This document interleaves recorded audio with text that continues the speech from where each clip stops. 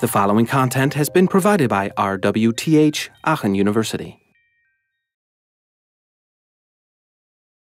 All right. Good morning, everybody, um, and welcome to DIS2. Today, um, we're going to start talking about the reference window system model that I uh, mentioned in the class overview. Before we do, um, a closing thought on the design space of input devices that we talked about last week. Um, uh, this is Stu Card, the, the guy who um, not only was involved in the uh, CMN model that you know from BS1, but also was one of the authors of the design space paper that we talked about last week. And, and here's a quote from him in a much later work that, that was kind of looking back at, at um, seminal HCI research, an excellent book by Bill Moggridge called Designing Interactions. Um, and in this, this he uh, Stu Card was asked about the design space paper, uh, what he thought about it. And he said, this was my ideal model of how the supporting science could work. It required good designers to actually do design, but what we could do, he means like himself and others as researchers, as HCI researchers, was help structure the design space so that the movement through that design space was much more rapid. The science didn't design the mouse, but it provided the constraints to do it. Um, and so that's I, I think that's an interesting um, way of you know understanding what the original author himself thought um, how this design space was meant to work in the field of, of HCI research and practice. With that, on to the Windows system architecture. Uh, before we talk about the reference model, I want to give a brief overview of what we generally expect of a Windows system, what we mean by a Windows system. Um, um, and a Windows system uh, has basically speaking, if you take a, a, bare bones operating system, let's say you know you boot up your Linux laptop and you don't start any graphical environment on it, right? You literally leave it at like the terminal stage, and a lot is missing, right? Um, and what a Windows system does is basically put the entire graphical UI in place that is you know makes the whole system available for use with you know the mouse, you know, moving windows on, uh, around uh, switching applications, etc. So it has to handle input, and, and that's a non-trivial task, right? I click a mouse somewhere, uh, I, I, click on my mouse button, and somehow that event needs to travel through and, and be associated with the right application that happens to have a window at that point on the screen. And maybe there are multiple windows at that location. So I need to decide which one uh, is the foremost one that needs to be receiving that um, that click, and then I need to find out, okay, what application actually belongs to this window to. So it's a tricky business, right?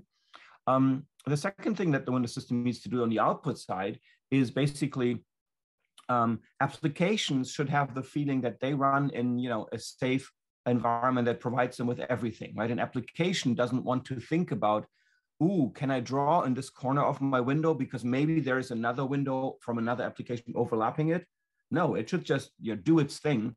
And the window system, some layer inside the Windows system needs to take care of the fact that you know maybe if it's trying to draw something, that part can't be drawn because that part of the window is actually hidden by something else that is in front and that cannot be destroyed on the screen.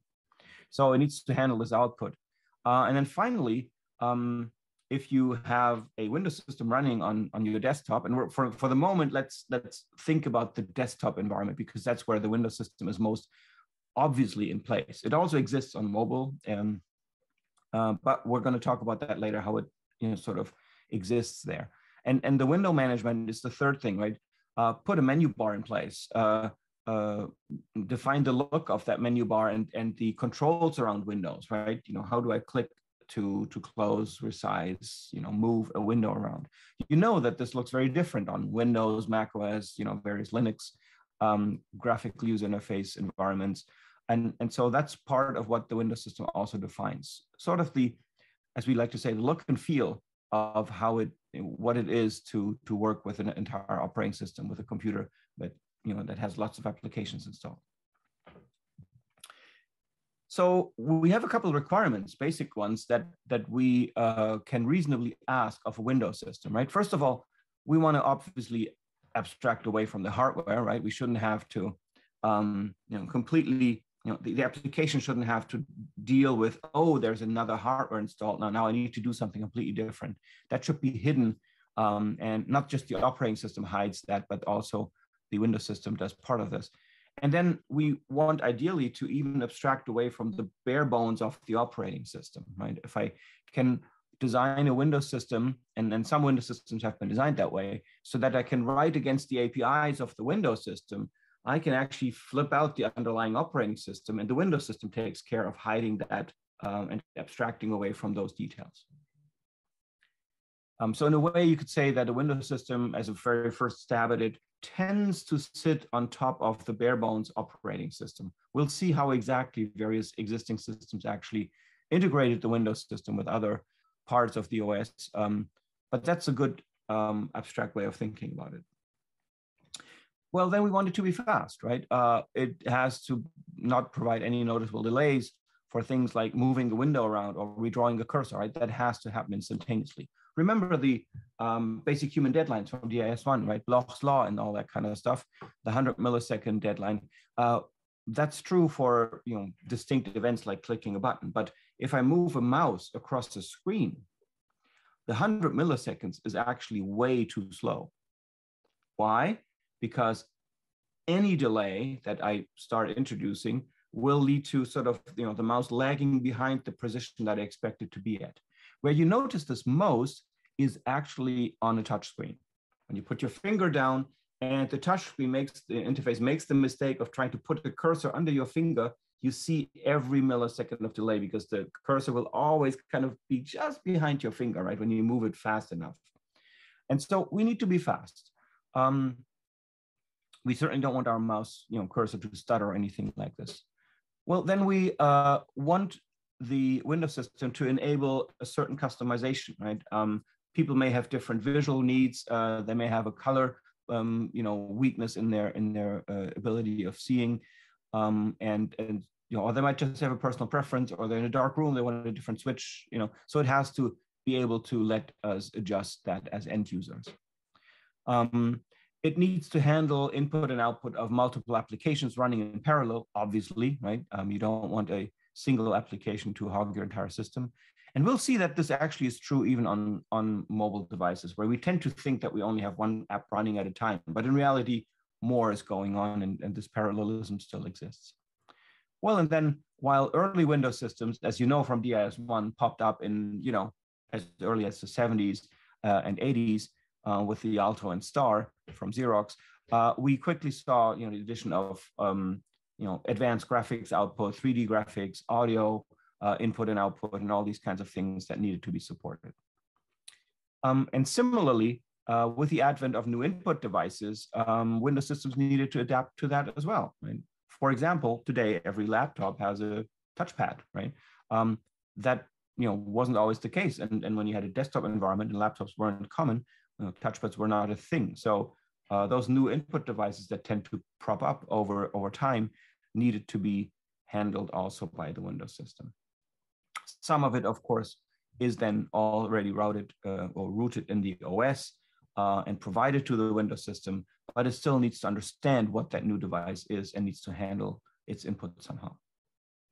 So let's assume we're looking one year ahead, two years ahead, uh, you know, depending on where you are in your studies, and you're now, you've been hired by a company, and a company says, okay, we want to um, you know, we have, I don't know, a, uh, a factory floor and we need to put a, uh, a system in place where, you know, the, the operators of these machines can walk over in between their, their shifts and, and do a couple graphical operations like, you know, log in their time or uh, something like this. So they need a they need a graphical UI in place there. So you get to choose complete freedom. You know, you're not, it doesn't say it has to be running on Mac OS or Windows or whatever.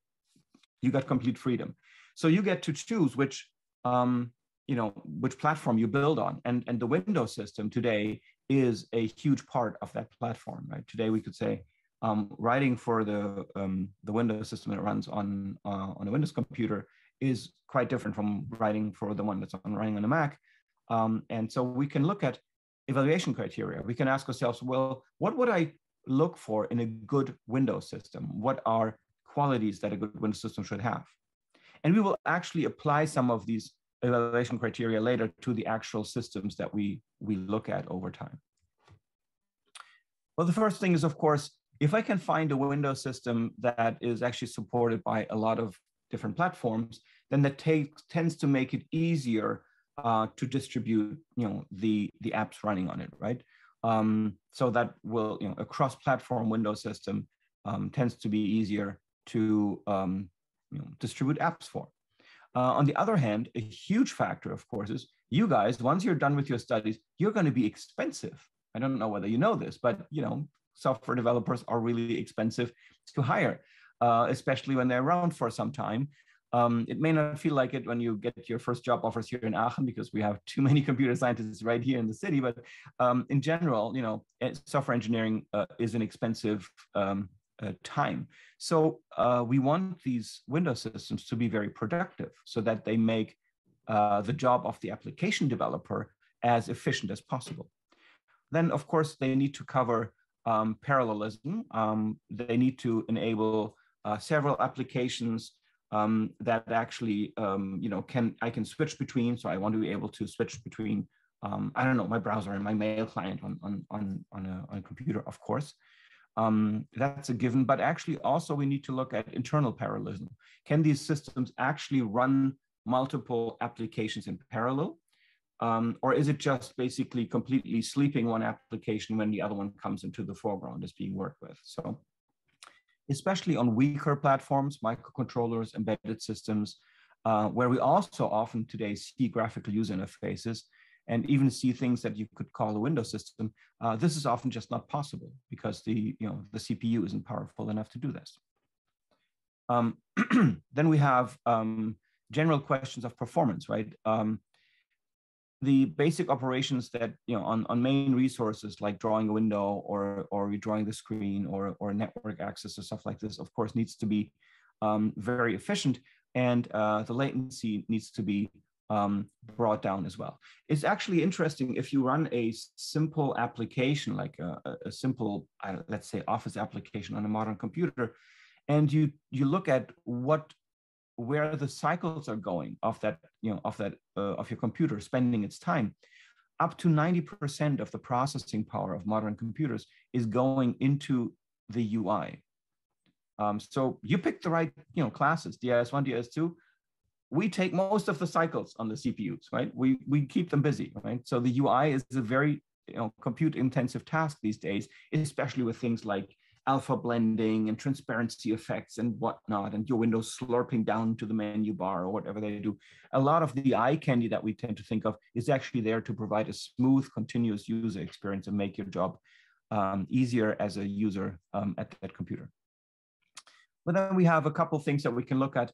Um, most early Windows systems, I would say all early Windows systems use the raster model for their graphics. So they literally said, okay, I got a bitmap display, I got a pix I got you know some storage and I can put pixels there, and I'm every application will have to render its stuff in pixels. Right? Um, that's a problem because if I buy a bigger screen and I want something to be you know five inches long, how am I going to do that, right? If the application can only render pixels, so that's why systems have over time moved to a vector-based drawing format, which is much more expensive computationally, but it means that applications don't need to worry about the actual pixel resolution on the screen and how big a pixel is they can just draw in actual, you know, measurements like centimeters, millimeters, inches. Uh, and then finally, the uh, one of the evaluation criteria will also be, um, is the look and feel uh, matching the tasks that people need to do with, with this uh, application that I'm thinking of writing? Um, is it maybe even exchangeable? Can I exchange the look and feel? Can I make my Windows users feel at home because it looks like Windows? Can I make my Mac users feel at home because it looks like a Mac? We have a couple more things though. Uh, if you look at, um, you know, if you are a, a, developer on a Windows system and you're writing things that go beyond the basic, you know, standard GUI application um, that uses just standard components, you might want to start extending the Windows system. You might want to tweak it. Maybe you need to do something to it. Maybe you're writing it for this office floor, for, for this factory floor I was talking about, and maybe that factory floor has a weird non-standard input device. Maybe they're using some kind of light pen that nobody else is using these days. Um, and you need to somehow get that, you know, supported by your by your app. Um, that's the Windows system provides support for these kinds of things. Uh, and there's two ways that you can extend the Windows system. You could extend it literally in, in source code by you know hacking the source. But if you change the source of your Windows system, uh, then of course apps that you write for it are going to be incompatible with anybody else's um, installation of that system. Um, or can you extend the Windows system at runtime? Can you basically teach it new tricks while it's running? We'll see some examples of that. Um, how much can I adapt, um, especially at runtime? Can I, for example, um, start an application and then when the user decides to switch to dark mode, you know, because it's getting dark outside and he wants to switch it, can I tell all the running apps to switch their look and feel while they are running into a different color scheme? Is that possible, right? Does the Windows system support that or not? Similarly for localization, do I need to reboot my computer to switch to a different language or is that something I can just do on the fly? Um, next up, uh, resource sharing. Uh, this has become a little bit less of an issue because memory these days is not expensive anymore. Um, and we usually, we tend to have plenty of it. But uh, resources means things like fonts. It doesn't really make sense if every application would load their own version of the same font that you're using across many, many apps, right? That's a read-only resource. I'm not going to change anything inside a font, so we should only have one instance of that lying around in the, in the system um, to save space and to avoid inconsistencies through different versions and stuff like that. Um, next up, some, app, uh, some Windows systems can actually be distributed. Now, this is going to feel very strange. We're going to see an example of that in the X Windows system that we're going to look at first after our reference model. Uh, and that system actually allows you to do something pretty neat. You can run an application on one computer, but the application is rendering its entire UI and getting its entire input and output on another computer. And that's what we mean by a distribution of the, the Windows system. Um, the API, um, the application programming interface that the Windows system provides, that's going to be interesting to you as an app developer too, because that is the you know that's that's the frameworks and libraries and and, and stuff that you need to work with. Uh, and if these are uh, for example, they can be object oriented, which most of them, them are these days, or they could still be procedural if it's, especially if it's a low powered platform that cannot afford the overhead of object oriented computing, which is always, you know, it's always a couple more pointer um, operations for, for every single thing you do. Um, you know, it could be procedural, but if it is, then that means that you need to wrap your head around you know, programming differently from, from an object oriented approach. Um, and that can have an impact on your, on your um, productivity.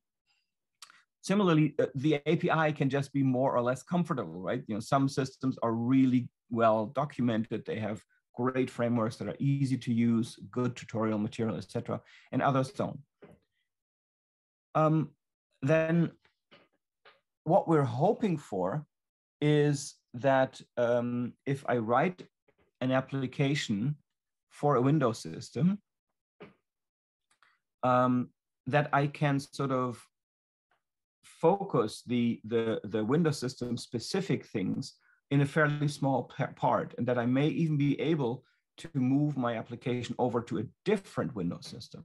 So being, being able to write code that only has fairly thin API uh, interfaces to the Windows system rather than being deeply ingrained in it um, could be useful if you want to move your app, let's say, from you know Windows to Mac OS, for example.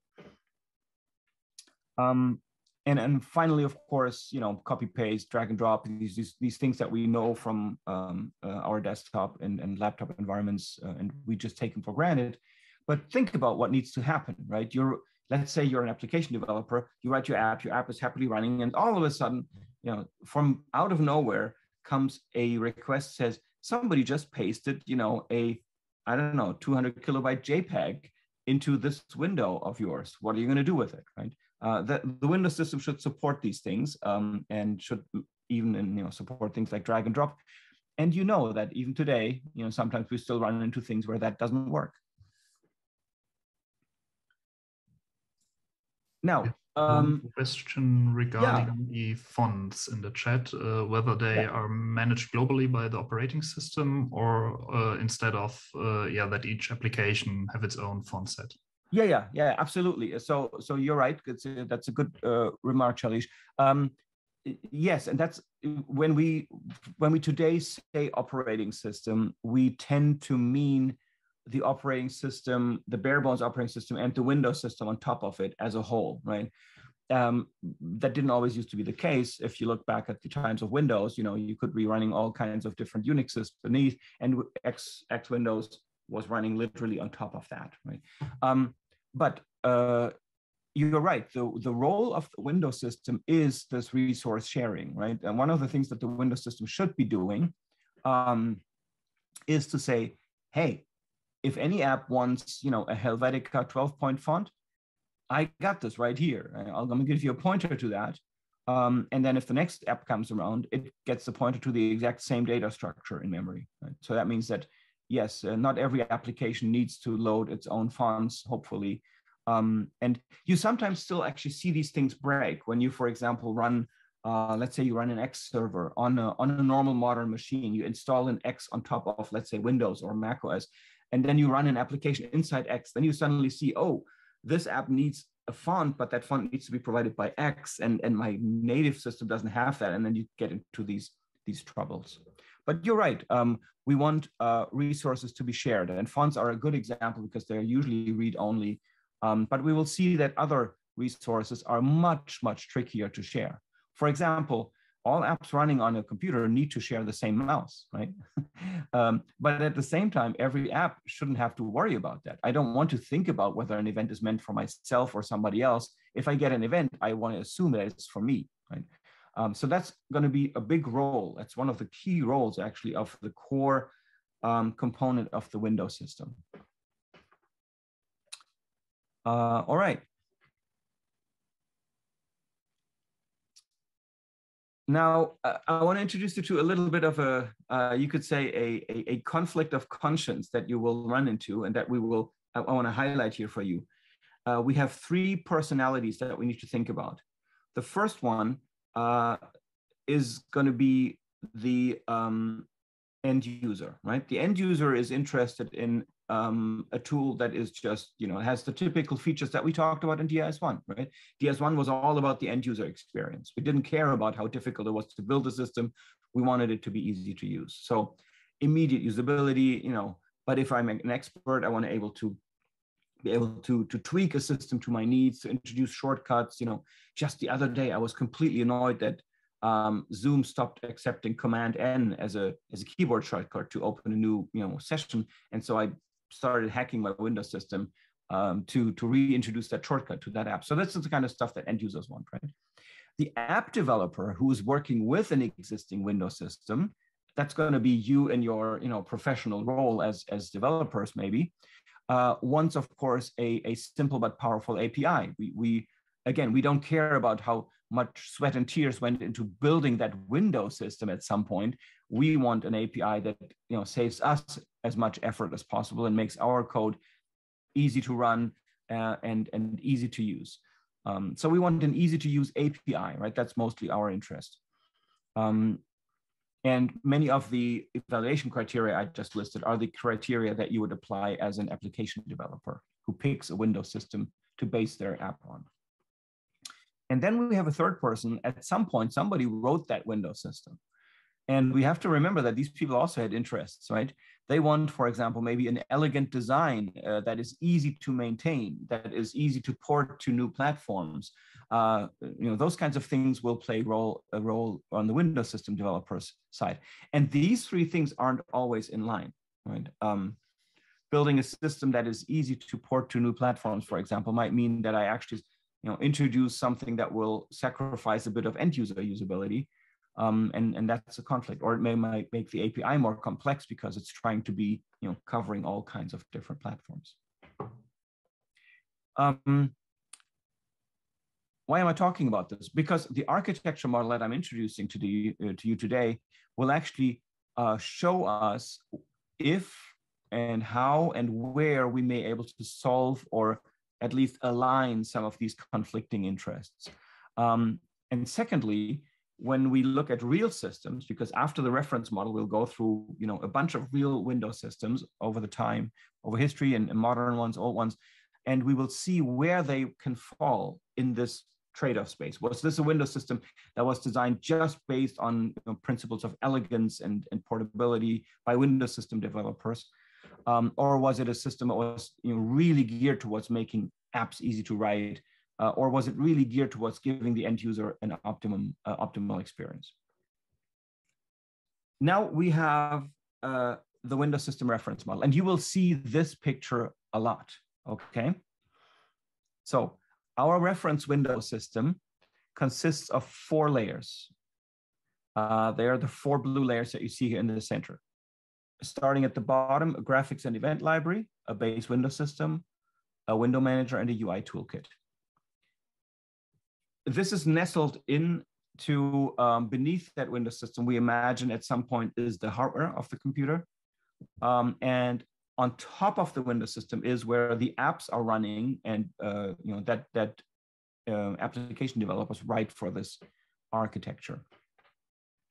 So as we go up, um, the layers tend to become more abstract and the concepts and principles and, and objects and things and, and, and, and functions and methods that they support tend to be more centered around user tasks, right? So while the graphics and event library might be very basic, you know, uh, event handling commands that um, you're not really that don't really sound like an end user thing, then the UI toolkit will provide something like you know a push button that you know is very close to what an end user would actually need in an application.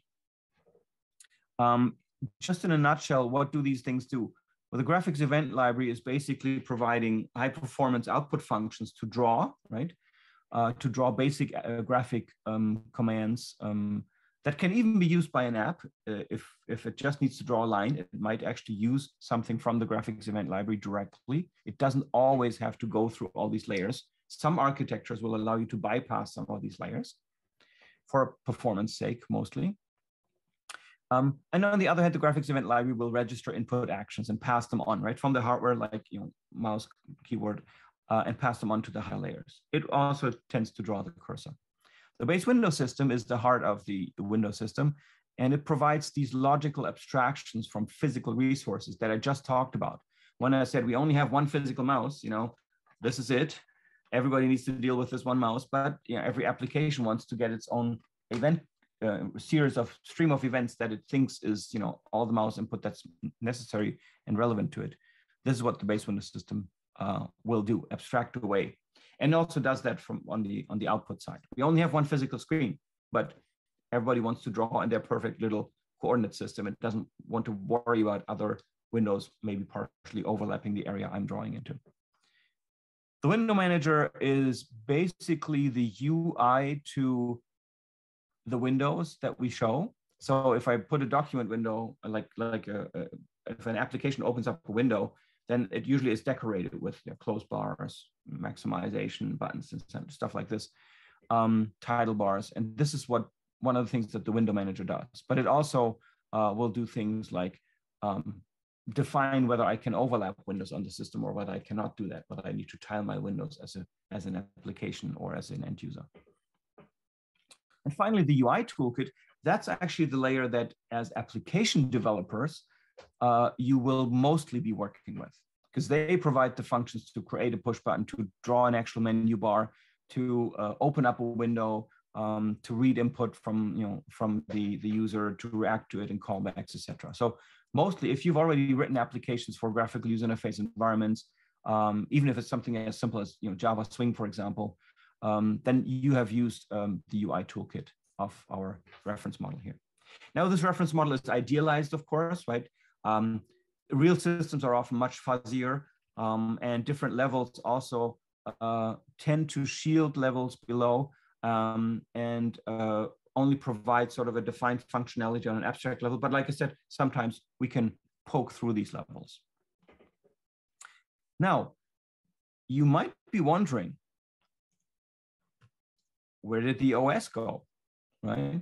Um, and that is a tricky question because we can't give a you know, we can't give a standard answer for this because systems existing systems solve this quite differently conceptually you can think about the operating system as sitting sort of between the hardware and the GEL right so many systems um, will tend to have a base OS that just deals with, you know, basically textual uh, command line style um, uh, in input and output, um, and has all the basic abstractions of processes and memory management, blah, blah, blah, blah, blah, that have nothing to do with the graphical nature of the Windows system. Uh, and then on top of this, you tend to have the uh, Windows system. So that's a, often the choice. So that's a good spot to imagine the OS in. But in reality, when you look at really like how are things packaged and what's running in kernel mode and what's running in user mode on, on like a Linux system, for example, you may find that sometimes the entire system is actually the OS. There is no discernible layering difference that you can, um, you know, where you could say, oh, I'm going to just use this bare OS. I'm not going to even, you know, use the Windows system on an on a on a Linux X Windows machine. You can do that, right? You cannot fire up X at the beginning, and then you have a terminal uh, system, right? Other systems um, tend to not enable that so much. But let's say the OS tends to sit, you know, conceptually down here, uh, although technically how it's actually being wrapped um, into uh, bundles and, and layers, um, it may actually uh, be that the entire thing is the OS because the OS assumes that there's only one Windows system and then never makes it exchangeable. That's how, you know, if you run Mac OS or, or modern Windows, uh, you don't get to choose different uh, Windows systems, right? It's the one that comes with the, with the system. Next question, uh, where's the user? And for this, um, may I remind you of another uh, thing that I'm sure you learned. Uh, I'm sure in, in data communication classes, you've talked about the ISO OSI uh, seven layer model, right? Does it ring a bell with anybody?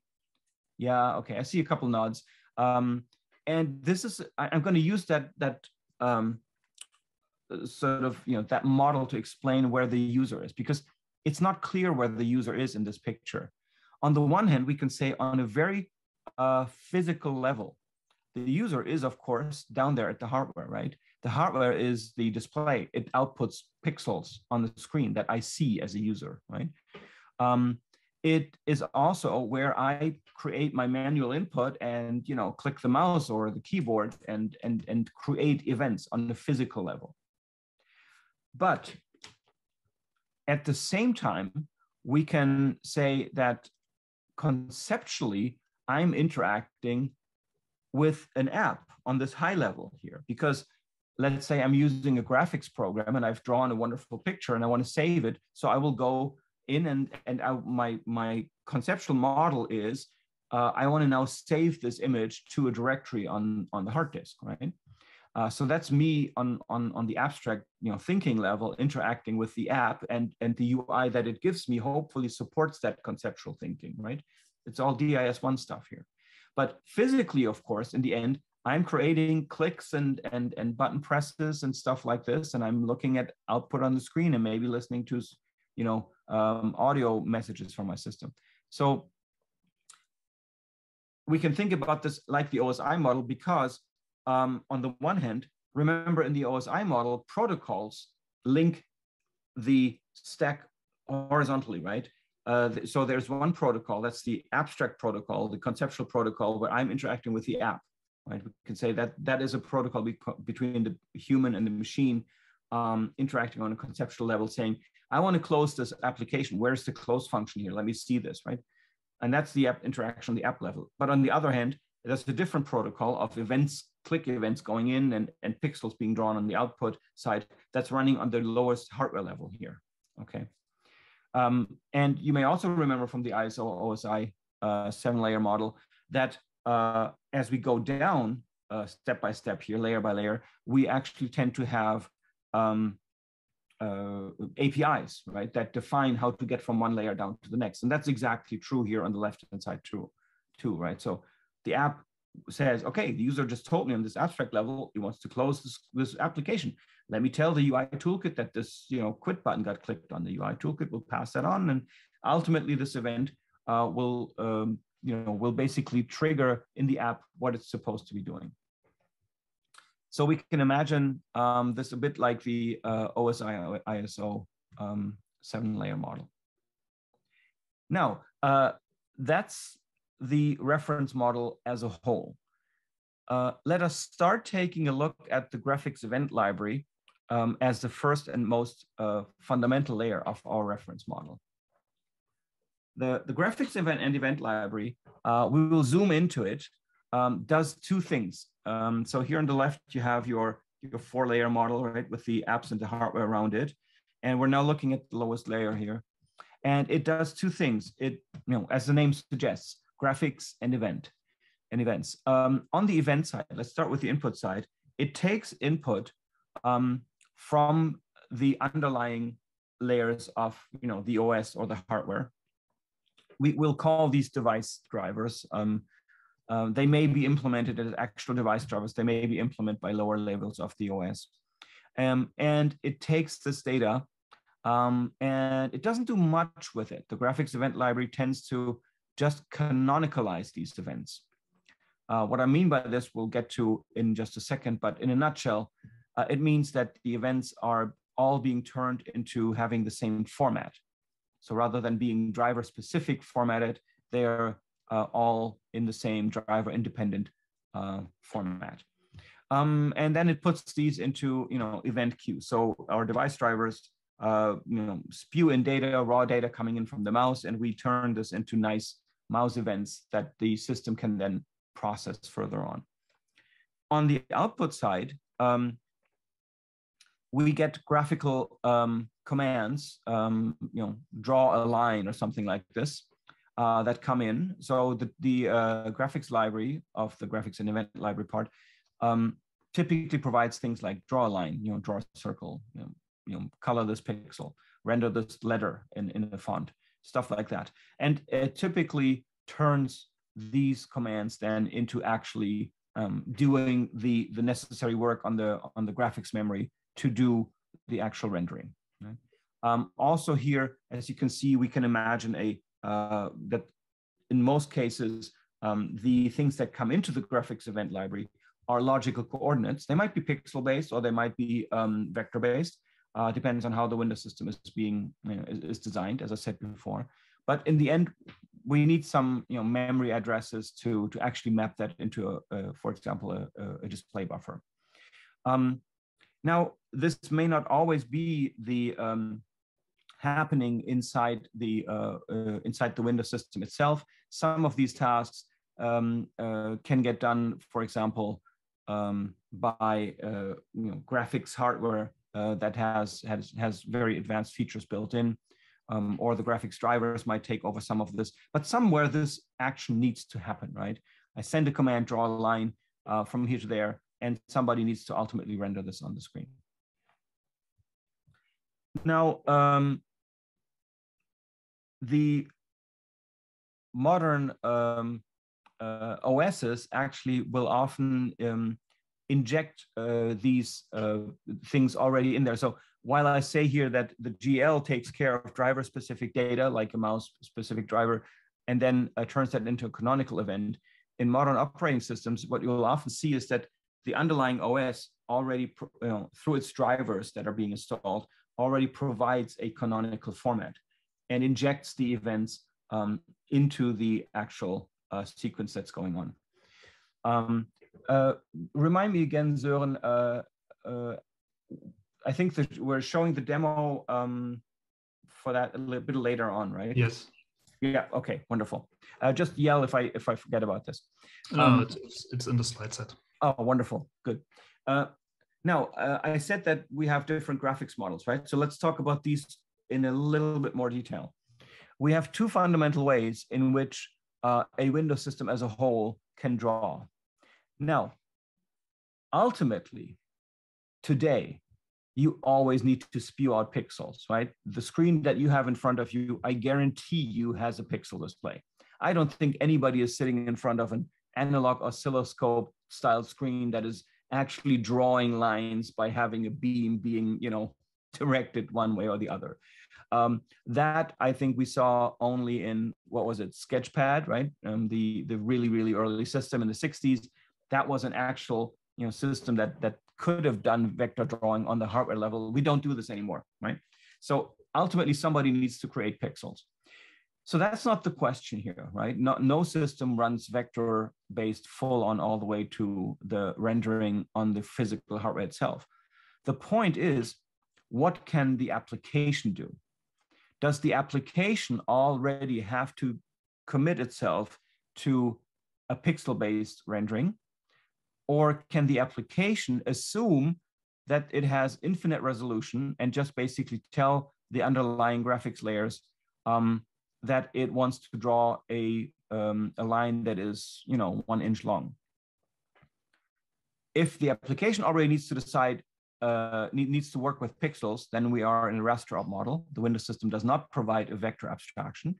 If the application can run in vector uh, um, units, then it uh, means that the Windows system provides this vector-based drawing abstraction.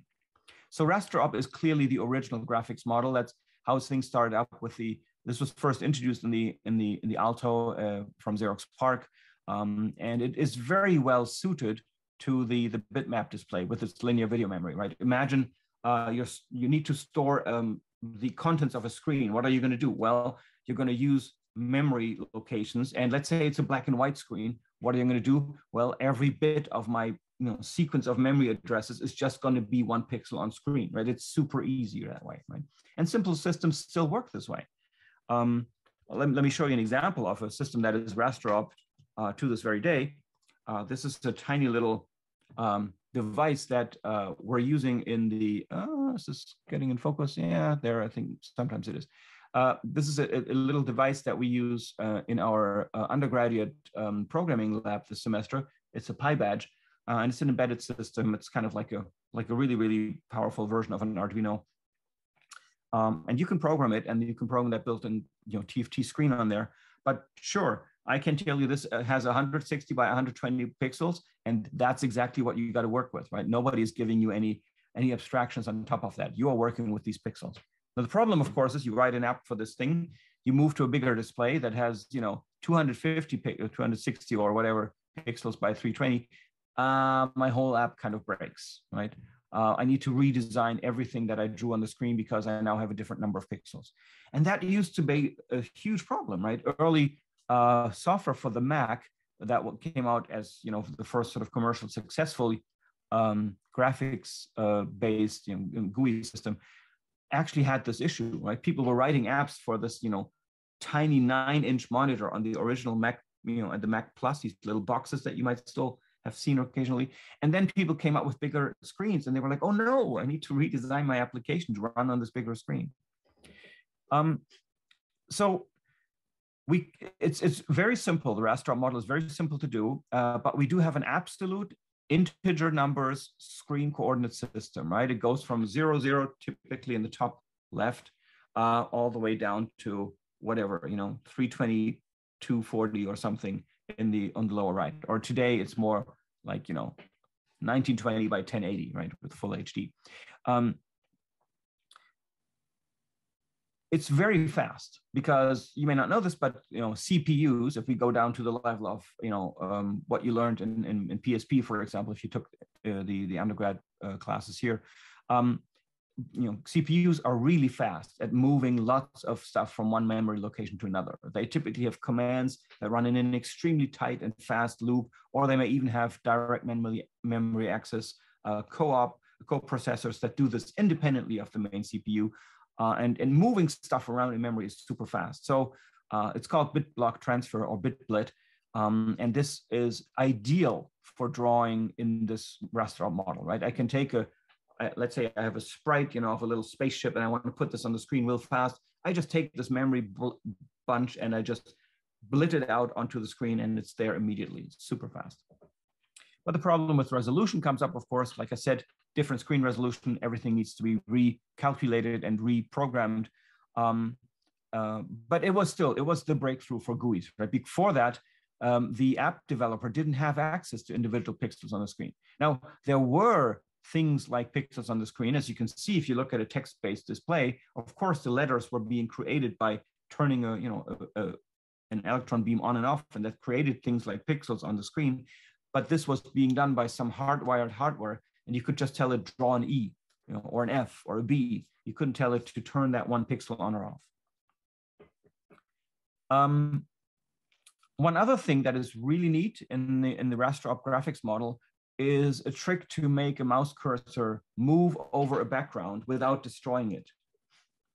So here's a little uh, tiny little challenge for the guys you are uh, comfortable programming. Let's assume you have a bitmap display, it's black and white, and it has some random pattern on it, right? Some, some content that you don't want to destroy. And I, my task to you is I want you to put a mouse cursor, to render a mouse cursor somehow on top of that screen that I can distinguish, that I can still see. And then I want you to remove that mouse cursor again because it moved to a different location, for example. And I want the original content to be restored as it was before. How would you do that? I'll give you a hint. It's it's a trick that uses a particular logical operation. Um, yeah, uh, Leila, go ahead. I would just switch the bits. Like um, I don't know what's the bitwise operation called, but if I have yeah. a zero, I will turn it to a one, and if I move it away, I would just say, yeah, switch the bits again, and yep. that way we will see the mouse anyway. Exactly. You just reinvented the XOR operation. That's exactly what we're doing, right? Uh, yeah. so exactly, right? You so by, by just inverting every pixel of the where you want the mouse cursor to be, uh, if it's all white, then the mouse cursor will be all black. If it's all black, it will be all white. If it's speckled, then the mouse cursor will be speckled, but you will be able to see it, right? It will distinguish itself from the background. And then if you do that again, you restore the original content. So this XOR trick uh, was incredibly popular uh, and still is if you want to quickly draw something on a screen and, and remove it again. Um, somebody actually tried to patent that, believe it or not. Um, and I have to say, this doesn't work quite as smoothly for color screens, right? Because then things get more iffy, but um, it, it's, a, it's a great trick. Now, the vector model, on the other hand, uh, says that the API that I program my application against, right, on top of the Windows system, will provide me with a normalized coordinate system. It will say something like, you have, you know, a screen that is, I don't know, uh, 10 by 8 inches or something like this. And then inside the uh, in the, the Windows system, this will get actually transformed based on the, the device that I'm using. Um, and the advantage then is that the units are not the pixels of a particular device anymore that I'm working with, but they are actually mathematical units, right, that I can work with. And so my application can draw the exact same data to various screens um, and always get the best possible resolution. That's another big advantage, right? If I just say, draw a circle, and I draw this with a mathematical underlying model, and it will always be as round and nice as, as the pixels allow, right? Um, if I have more resolution, my circle will come out more nicely.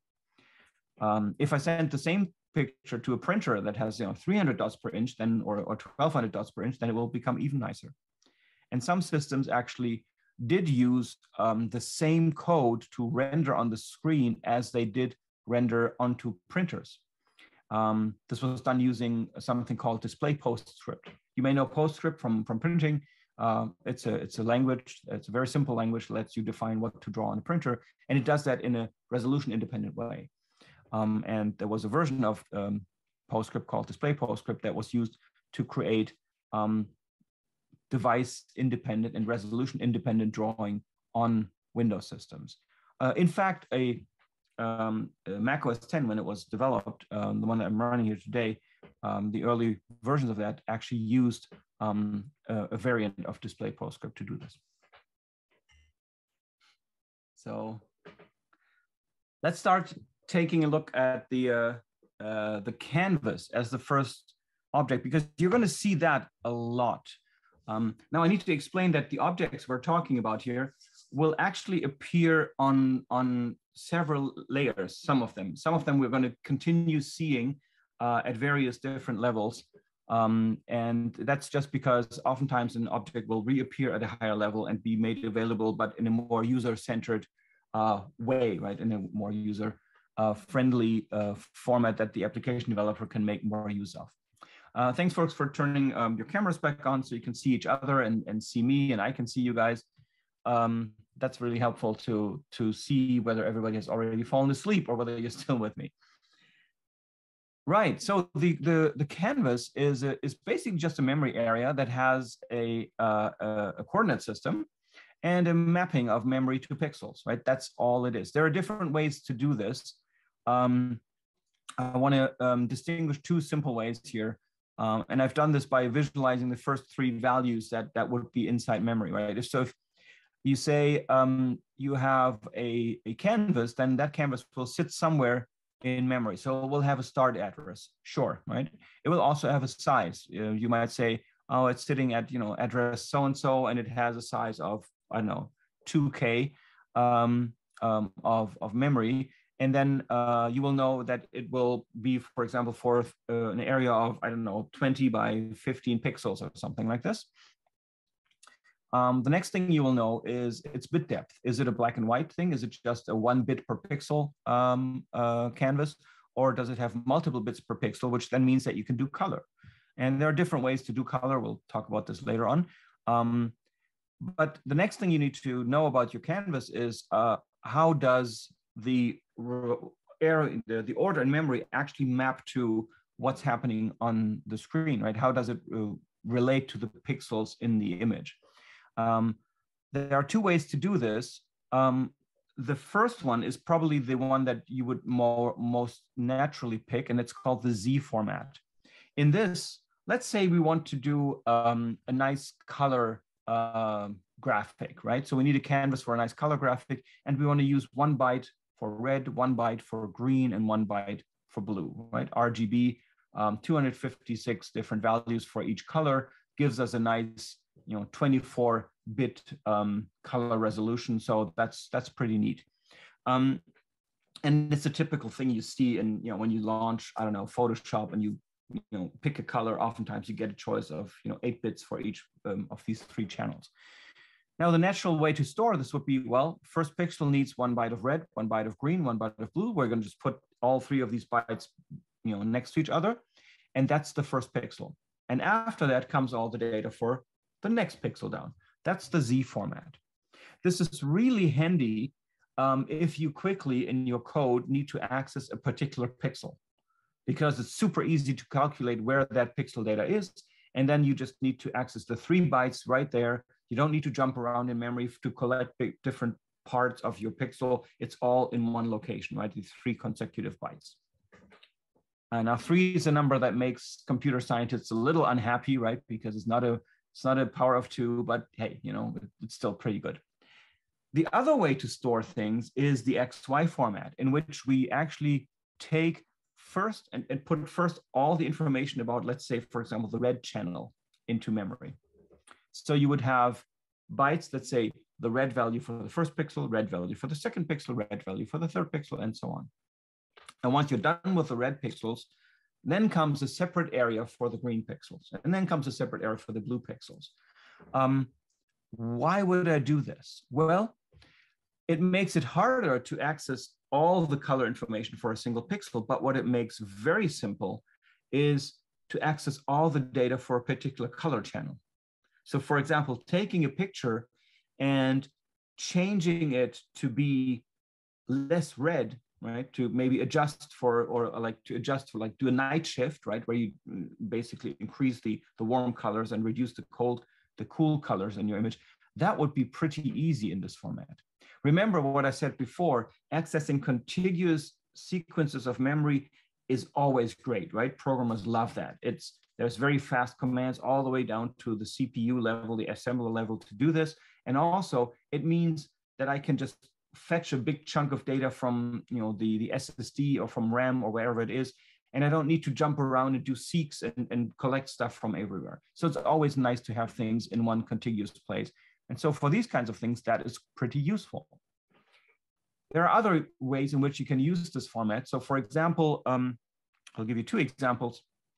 Um, I, I used to have an old 80s sort of home computer that had just a black and white pixel display, right? That was so that was contiguous in memory. And then after that came a separate layer that contained color data that said for certain chunks of it, just eight by eight pixels at a time, I could define a color. So the color resolution was less than the actual pixel resolution.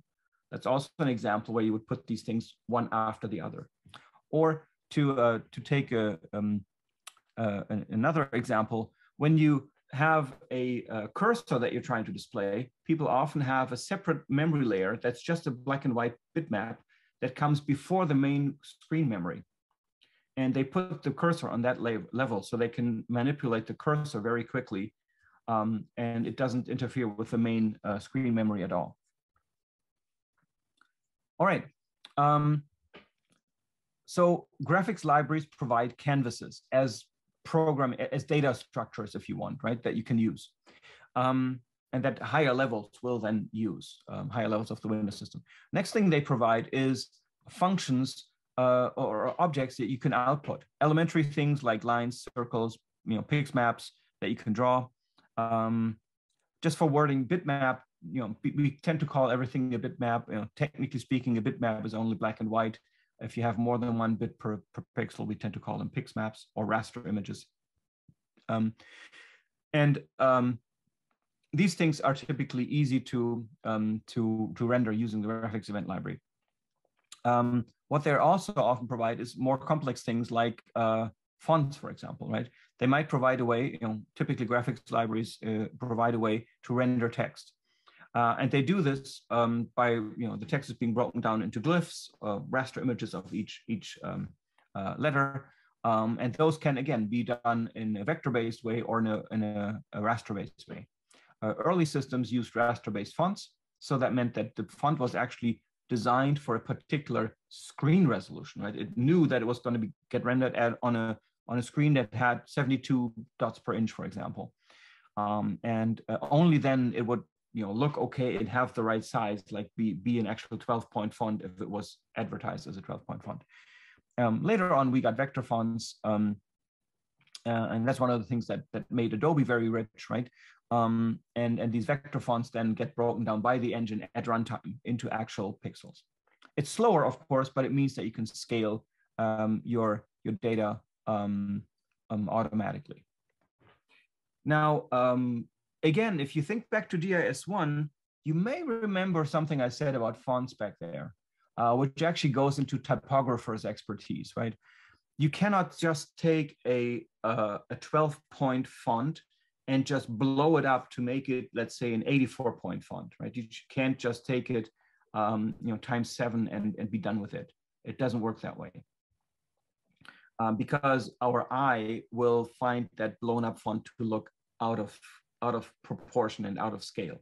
Uh, so actual typographers will tell you that you need to actually change the line thickness of things as you scale things up uh, in a font because our eye, the way that our eye naturally works. And modern fonts, for example, the uh, the OpenType um, uh, defined font format actually contain these hints that tell the computer how to scale these fonts up and how to scale them up, not just by blowing them up or shrinking them down, but by actually changing thicknesses and things like that as they change in size so that they look really nice at all different sizes. So that typographer's expertise has been poured into the actual format of the font in modern systems. All right, so these are uh, objects that the graphics library will provide to you that you can output using the functions it has. Um, next thing, and that's also something you will see a lot, is the graphics context. Imagine the graphics context as a little bit of a state uh, diagram, or, or no, not a state a, a state being recorded of a virtual graphics processor. The goal of it is to reduce the parameters that you need to actually pass when you're calling graphics at, uh, operations. What do I mean by this? Well, let's say you want to render um, lots of strings on the screen. You need to write lots of text. You're writing, let's say you're an app developer writing something like Microsoft Word. So you need to put lines and lines of text on the screen, right? To show the current page of text that the user is looking at. You don't want every single letter that you render or every single string that you render or every single line even you don't want to always have to tell the computer and the graphics event library again, by the way, I want you to use the font saw in 24 point, use the font color black, you know, that's RGB 000, and use a line width of two pixels. You don't want to always tell the computer that, the GEL, that for every single drawing call of a string that you send it. So instead, what you do is you set these attributes once by calls into the graphics library. And guess what happens? These, these attributes are being set in what's called a graphics context. So you are filling in the lines of this table here, basically, which is the graphics context of the graphics event library. And then you tell it, and now with the current settings, basically with your current palette that you've collected of, of you know, text color and line thickness, and etc. This is what I want you to execute the next 2000 drawing commands with until I tell you to change it. This is way more efficient, of course, but not always provided on this level. Uh, but many modern graphics event libraries do this, um, and they reduce uh, the amount of parameters that you need to pass in when calling graphics operations. Because once I have these things set up, I can just tell it things like draw a string at coordinates x and y, because those are going to be new for every single uh, call. And the string itself is, of course, going to be new, but everything else, it will just derive from its current graphics context. Okay. That's why you can imagine it literally like a, an artist's palette that has certain colors that I put on there and certain brush sizes basically. And I pick these and this is what I'm working with until I'm told otherwise. That's the graphics context. Another topic that is uh, quite challenging for the graphics library is how do we draw things and how do we draw things so that we can redraw them if necessary?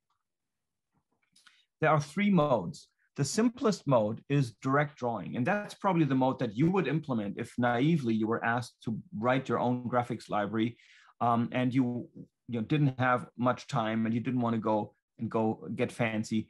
You would just say, well, if an application tells me to draw you know a tree and and whatever uh, an elk or whatever this is um, onto a screen um, then that's exactly what i'm going to do i'm going to put that into a video memory right into the into the graphics memory that that is there for the screen but after rendering it i'm going to directly forget what i did it doesn't mean that it goes away on the screen, but it means that I, as a graphics event library, do not keep track of what I just drew.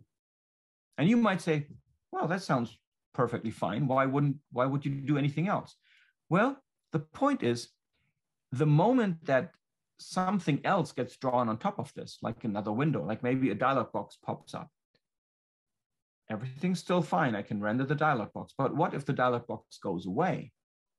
Then I need to uncover and redraw part of that, you know, tree and that and that moose or uh, whatever the animal is, and I need to actually tell the system what was there earlier on. I need to re refill these things.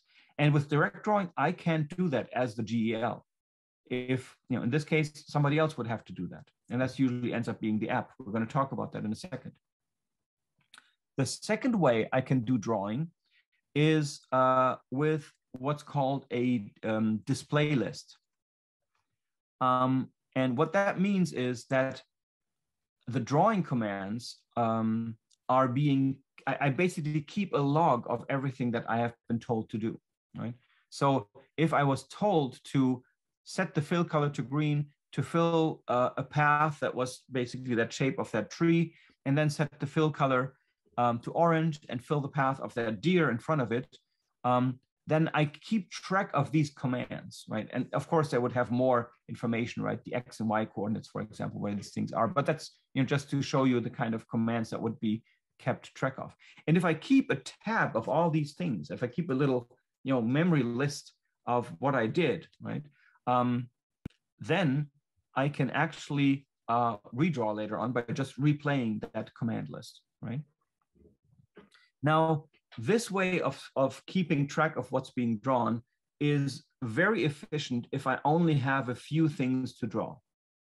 If I have a big screen with lots of you know pixels, I don't actually need a backup copy of the entire screen somewhere just so that I can restore things on the screen if they are asked for.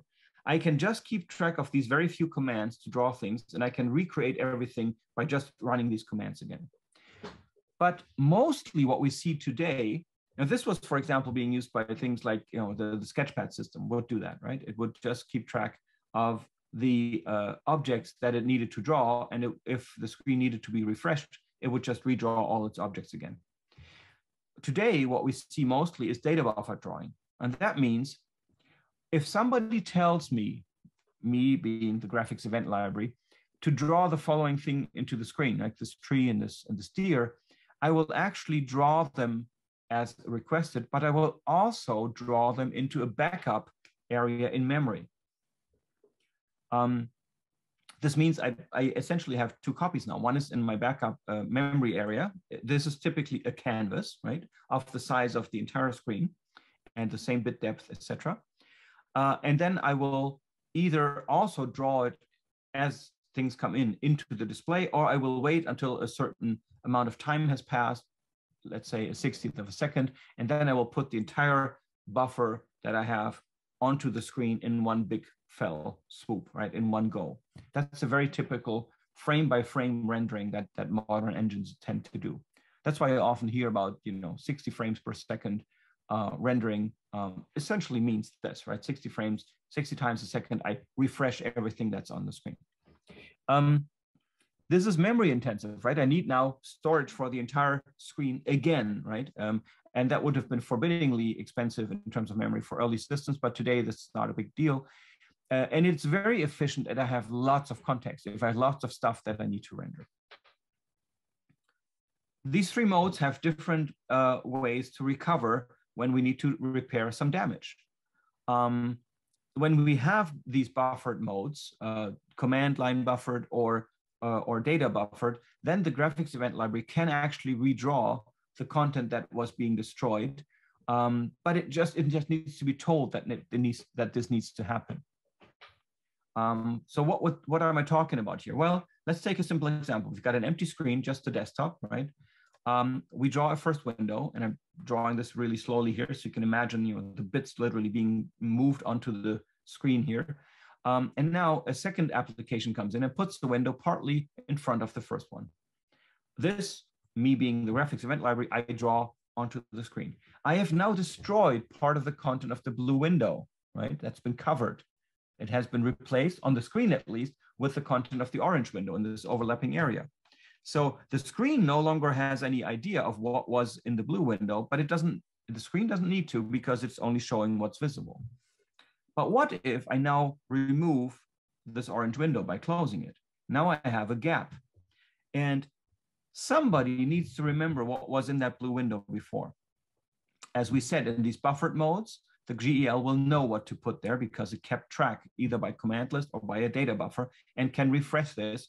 So when it gets a command to kill this window um, and remove it from the screen, it can not only remove the window, it can also automatically repair any damaged areas behind it.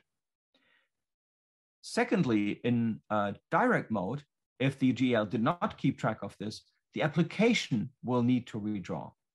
Um, and that is typically when the application is then sent a command up the, you know, up the hierarchy by the GL saying, all right, application, uh, somebody just closed the window in front of you and uncovered an area of your of your window. Um, and I don't know what you had in there. We all forgot about it. So we need you to redraw this. And this means then that the application needs to go in and actually redraw what it used to, you know, what it already had drawn in there. And applications use the same techniques. They usually implement either a backup buffer that they draw into, uh, or they implement a command list, right? If, if it's a highly, if it's a very simple drawing in terms of the commands, like a, a CAD program that just needs a few mathematical commands to create a very complex figure, or let's say it's it's a, a you know like a Lissajous figure, right? That just needs a three lines of code to be created, but it's very complex graphically. I might actually keep the commands around to redraw this. If you know if it's not that easy, then I'm typically gonna work um, with just the uh, the buffer, right? The data buffer in my application. Okay, and then we can actually refill these things. Now, the mouse cursor, uh, it tends to be a little bit of a different beast, right? The mouse cursor also has the same issue.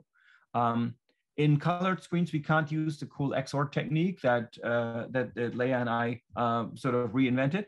Um, so we need to do something else, right? Um, if the mouse cursor moves across, what would tend to happen is that the mouse cursor would basically just leave uh, this space blank, right? So we need to restore that. And that is typically uh, then, you know, this restoring typically happens um, by the GL itself. So the GL tries to keep track of that, whatever it, it uh, destroyed with the mouse cursor, it will refill one way or another. The GL also usually does clipping. Uh, so if a if somebody tells the GL, draw this really big circle, you know, a circle that's bigger than the screen, the GL will say, sure, I can do that.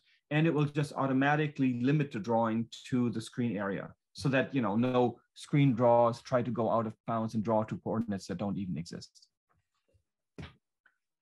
Um, now, let's look at the event side of things. We've looked at the graphics side of things. So the output side of the GL, we've got now sort of figured out. But what about the event library? Uh, the event part of the GL um, is responsible for taking driver specific input. So very in a driver specific format and to canonicalize it. So to turn it into a common format for all kinds of events that might be coming in to the Windows system. Uh, we're going to zoom in into this graphic so you can read it a bit better. So this is the event side of the event library. Um, so this is what happens. Uh, let's take a look at what we got at the bottom here. At the bottom here, we have four events. Um, and these are events that are queued up in the mouse driver event queue, right? And, and, and these drivers can be pretty stupid, right? Um, so for example, here we have an event. Uh, the first event tells us that none of the three buttons on the mouse were pressed. Uh, X hasn't changed, but the Y coordinate changed by one, uh, you know, one unit of the mouse. Remember, this is, you know, the mouse is a relative input device, as we learned in the design space of input devices. So it will never tell me that the mouse is currently at position X or Y. Will just tell me that it moved by so much in delta X or delta Y. And the wheel wasn't used, and there's a timestamp that the drive that the mouse created uh, in its driver specific format. Who knows what kind of timestamp uh, format that uh, mouse driver uses. Um, for example, if you have, if you might remember old PS2 mice, they literally had a dedicated clock pin that would, you know, get synchronized, and every time that you know pin would trigger, it would just say, "Here's the next value," right? But but it was at that frequency of that of that internal clock with a fixed sampling rate. Um, next event says, "Ooh, now um, you know a little bit later, some some you know milliseconds or whatever that unit here is later, um, we got uh, the button one down, and then yet another few event cycles later for the mouse, um, the button was being released again.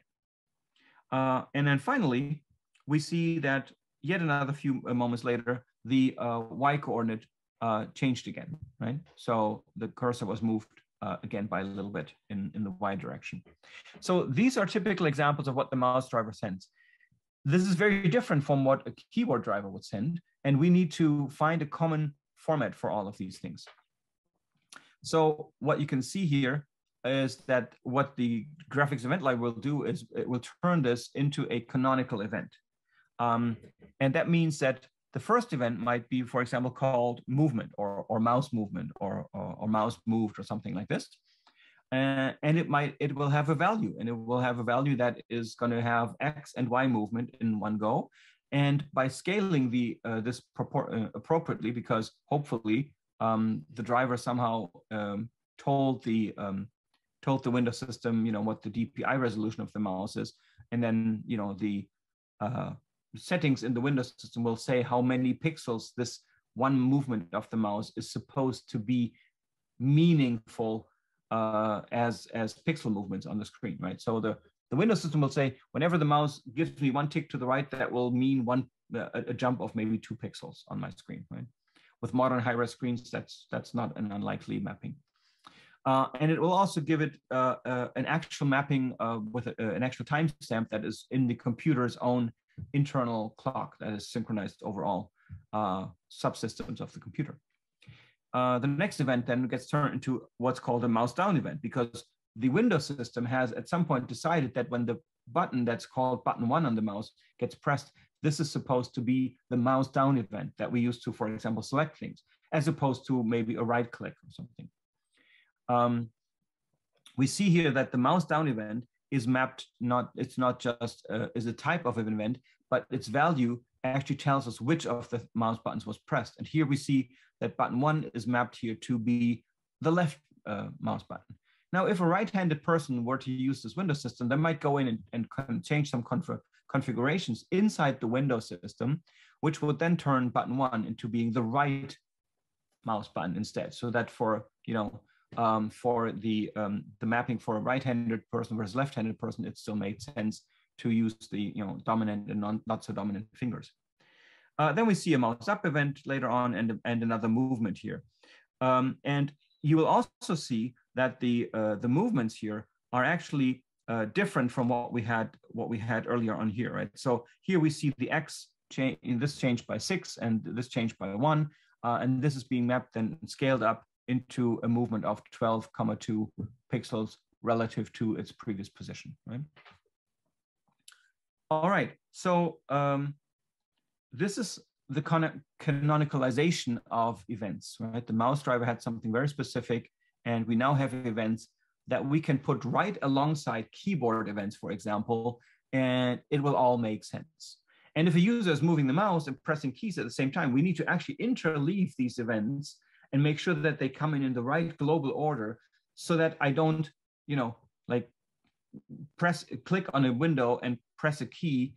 I got to make sure that that key press goes to the window that I just clicked on, right? Because I activated the window by clicking on it it can't go to a different window, then that would be wrong in terms of what the user intended. So here's an example, um, you know, aside from this mouse, mouse queue that we've now uh, canonicalized with these events here, we will also have a keyboard queue um, that has things like um, the I key being uh, uh, released, and then the one key gets pressed, and then the one key gets released, and then the zero gets pressed. All these kinds of things will be coming in. Um, and then there could be others. For example, on a laptop, you might have a trackpad, right? And the trackpad could give you events like, you know, touch started, moved, touch ended, um, things like this. Um, so we still have, however, one queue for each device, right? So this means that we still have one queue per device. We haven't merged these together yet into this one global ordered sequence yet. That's going to be the task of the base window system that's in the next level up. Um, and in order to illustrate um, that these things are actually happening, uh, Sebastian has prepared a little demo that I thought we should really show. Uh, so um, Sebastian, do you want to take over the screen from me? Um, if it works, yeah, it works. Looks like it does. Yeah, we're seeing core graphics right now. Yeah, you're seeing the documentation uh, because I uh, thought we start with a little documentation. So when we work with the four layer reference model, uh, we look at everything very theoretically and conceptually. And it might sound very weird in the first place that there is a layer that is about drawing, so drawing output and events. And I thought, why don't we look into the real world, for instance, on macOS and have a look how this layer exists there. And basically the documentation is already proof because if you have a look at the core graphics framework, you will find out that it says it's a framework for lightweight 2D rendering. And then on macOS, it's also for low level user input events to the windowing system. So um, I've highlighted the mouse cursor. Inside Core Graphics, you will find things like uh, a CG context there. Um, so you can have drawing context, drawing parameters. Um, it can work with bitmap data, data and stuff. And there's also Quartz event services will contain things like create a mouse event or create a keyboard event, and then finally distribute these events um, into the Windows system. Um, and I thought, what, how simpler can a program be than like this uh, really simple C terminal program on macOS? What you see here is exactly um, using this API. So you see it's all pretty old C API um, because of course macOS also has its origins in the 80s, so to speak. Uh, and what happens here is I'm creating a mouse event and then I'm posting the mouse event in the Windows system. So when I'm doing this in a for loop with a little sleep in between, you will see that when I execute this program, my mouse cursor, which is highlighted with this pink circle, will move around my screen. And this is not specific to the application. So uh, these uh, highlights in the menus will still be triggered. Even if I switch the application, for instance, to Safari, you will see that the highlighting there works as well. My mouse cursor changes. I can try to grab my mouse and drag around, but still these events that I inject into the Windows system will be executed. And there's basically nothing uh, that I can stop while this app is running um, to get control over my mouth again. So um, this is really just this quick example. The GL exists, for instance, in macOS with core graphics, and um, it has exactly the functionalities that you would expect uh, from the lecture. Awesome. Thank you so much. Um, I will um, get us back on and, and, and share my screen again.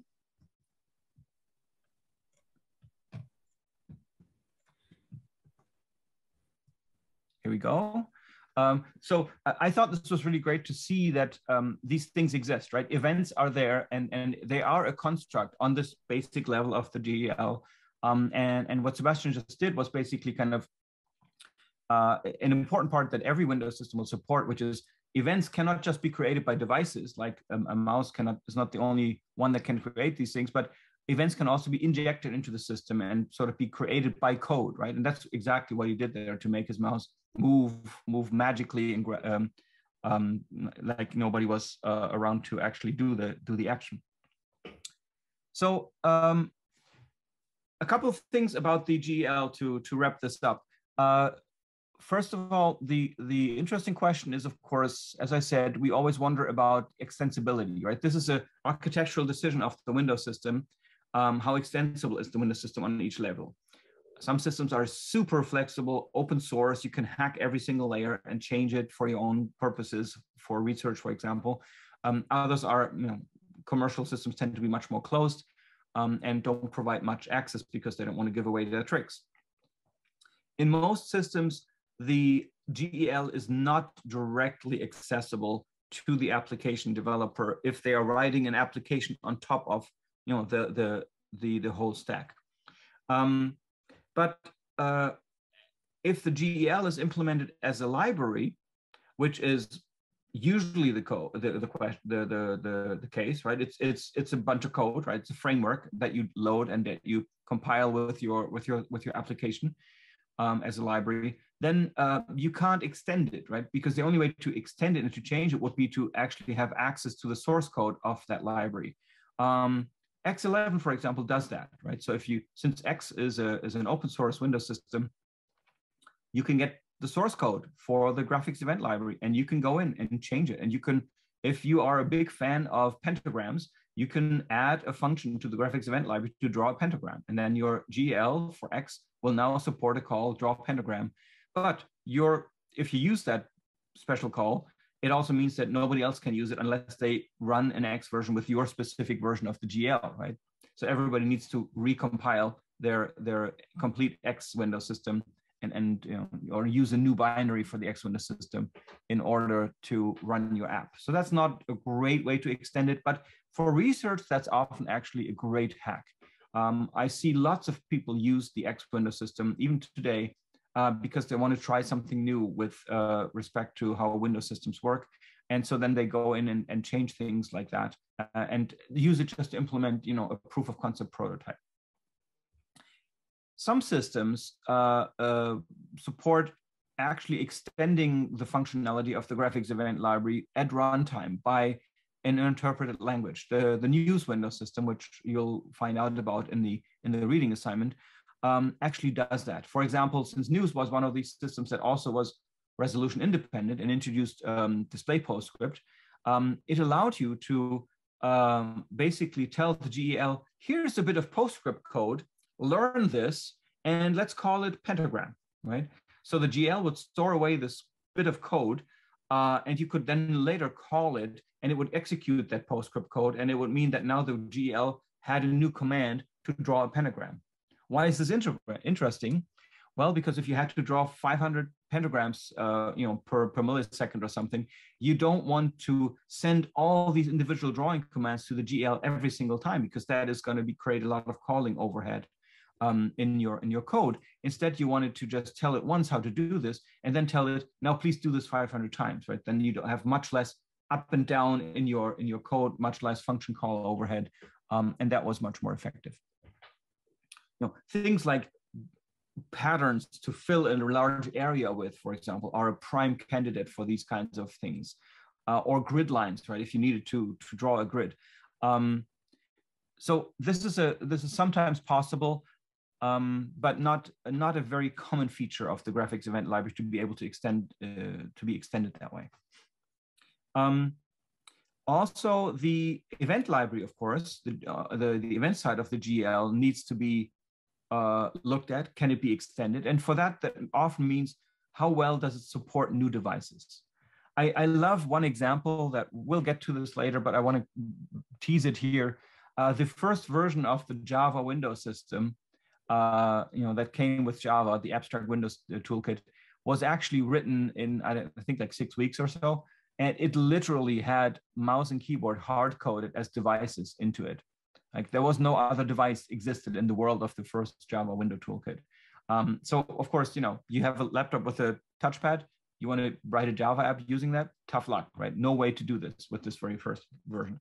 So we want, of course, the the the um, event library also to be able to support um, adding new devices. And even if it's just because I have a new driver and that new driver um, creates touchpad events and it creates them in a format that you know I can I can understand, then at least you know we want the higher levels to be able to understand that this gets added um, to the vocabulary of the Windows system. All right, so that wraps up the graphics event library, right? Um, it, in, in summary, it hides aspects of the operating system and the hardware. Um, it offers um, you could almost say a virtual graphics engine, right? A virtual graphics machine um, that has commands to, to draw graphics primitives. And it also offers a virtual event machine that um, uh, basically delivers queues of events. There are still separate queues for mouse, keyboard, other devices, one queue per device, but they all come out with the same format. So they are ready to be merged on the next layer up, which is the base window system. The graphics event library is often implemented for performance reasons in the same address space as its next layer up, the base window system. So these two are often merged into one address space, meaning that they are running in the same process and they have very fast ways of uh, uh, accessing each other. Because if I'm in the same address space, I'm just you know a function call away, right? Um, so it's very very quick to move back and forth to the base window system many objects that we've talked about, like you know the canvas, for example, or the event, will also have what I call peer objects on higher levels. So objects on higher levels that do the same thing. Um, and uh, for example, we will find that the base window system uh, will define what's called the window, notice that the graphics event library hasn't talked about windows yet, right? We haven't introduced the concept of a window yet on the graphics event library. It doesn't know what that is. It only knows about canvases and, and, and, and rectangular areas maybe um, that, that it can render to a screen area, but it doesn't understand the concept of a window. It doesn't need to. Uh, the base window system will introduce that concept uh, as a very simple thing. Um, and uh, that base window system concept of a window, so that data structure will actually have as one component uh, a canvas. And that's a canvas like uh, what the GL provides. Today, the uh, after the GL, the second part that I want to talk about is this second layer up in the in the four layer reference model, and that's the base window system. It is clearly the core of each window system um, it provides Windows system-wide data structures and operations. It manages uh, shared resources to ensure consistency.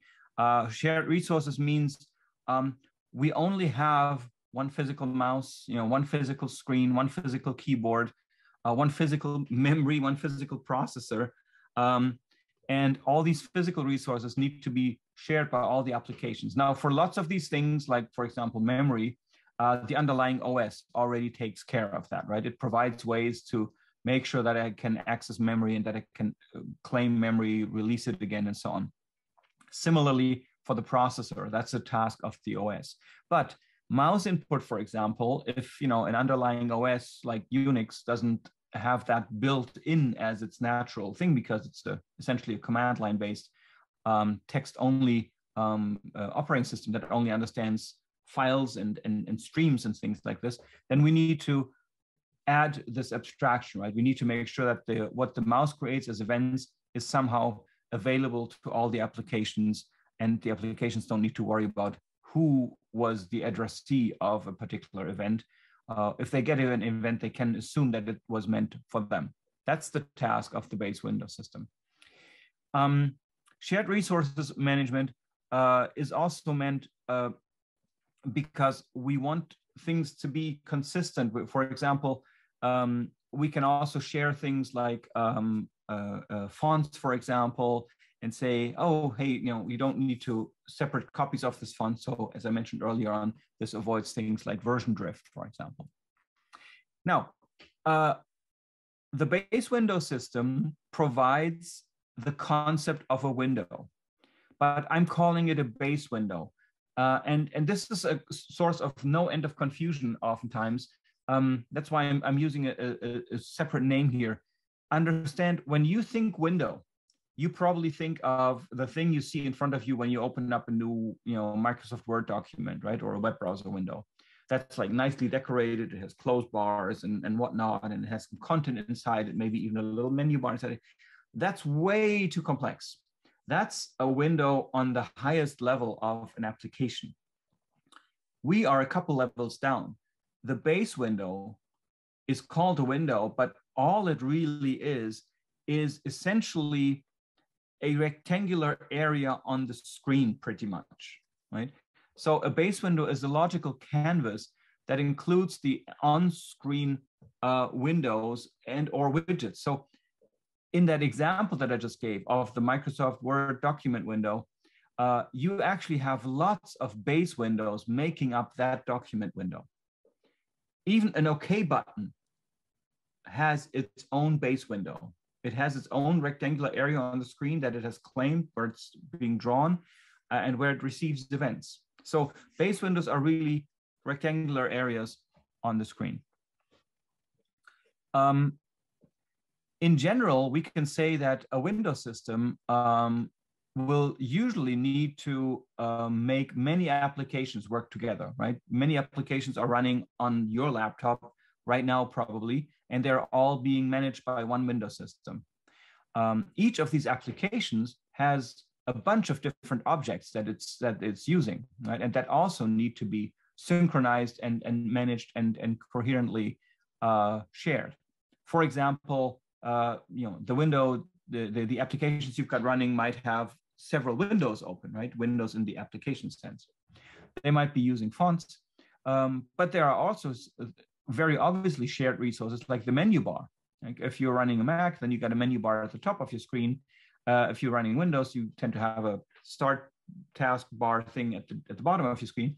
And in there, mon- many applications can actually put things next to each other, right? They, they, they sort of share that space and can put things there without interfering with others. So that's another example for a shared resource that needs to be managed quite, quite cleverly. And then in the widest possible sense, we don't just have multiple applications, each of them with lots of objects. Uh, we even could have multiple terminals. Now, I will admit that this is a bit of an artificial um, overgeneralization because the only example I have for this would be the X window system in which you could actually have multiple uh, stations, consoles that are actually ha have screens of an application. So I could actually write an X window application that renders one screen on, on my computer screen here, and that renders another window of it uh, on, uh, let's say, you know, Jane's screen, for example, right? Uh, that's actually possible with X. I can write an application that talks to multiple consoles and, and, and, and user um, displays at the same time. Uh, but it's a pretty rare case. Okay, so just understand that base windows are not your, your window that you naively have in mind when you think of, of document windows. So the base window system also um, has two main directions of, of, of tasks. Uh, one is on the input and one on the output side. On the input side, it basically uh, works with objects such as events, um, and it has some elementary operations such as queuing or dequeuing these events. Then um, it will need to deal with synchronization. In the case of events, that means that it needs to first multiplex all these events. But multiplexing, I mean merging all the event queues together into one. Because ultimately we need to know there's only one event we can really react to as the next event, right? That that's supposed to be handled next. So we need to know what's the what's the global order of all the events coming in from all these different queues. Once we have this next event, we then need to take this event and demultiplex it again. We need to understand, okay, there's an event that we need now, now need to handle. It's a click on a window, but which window and which app, right? Um, so we need to find out where that event actually belongs to, and we need to pass it on to the right um, uh, application that is supposed to receive this event.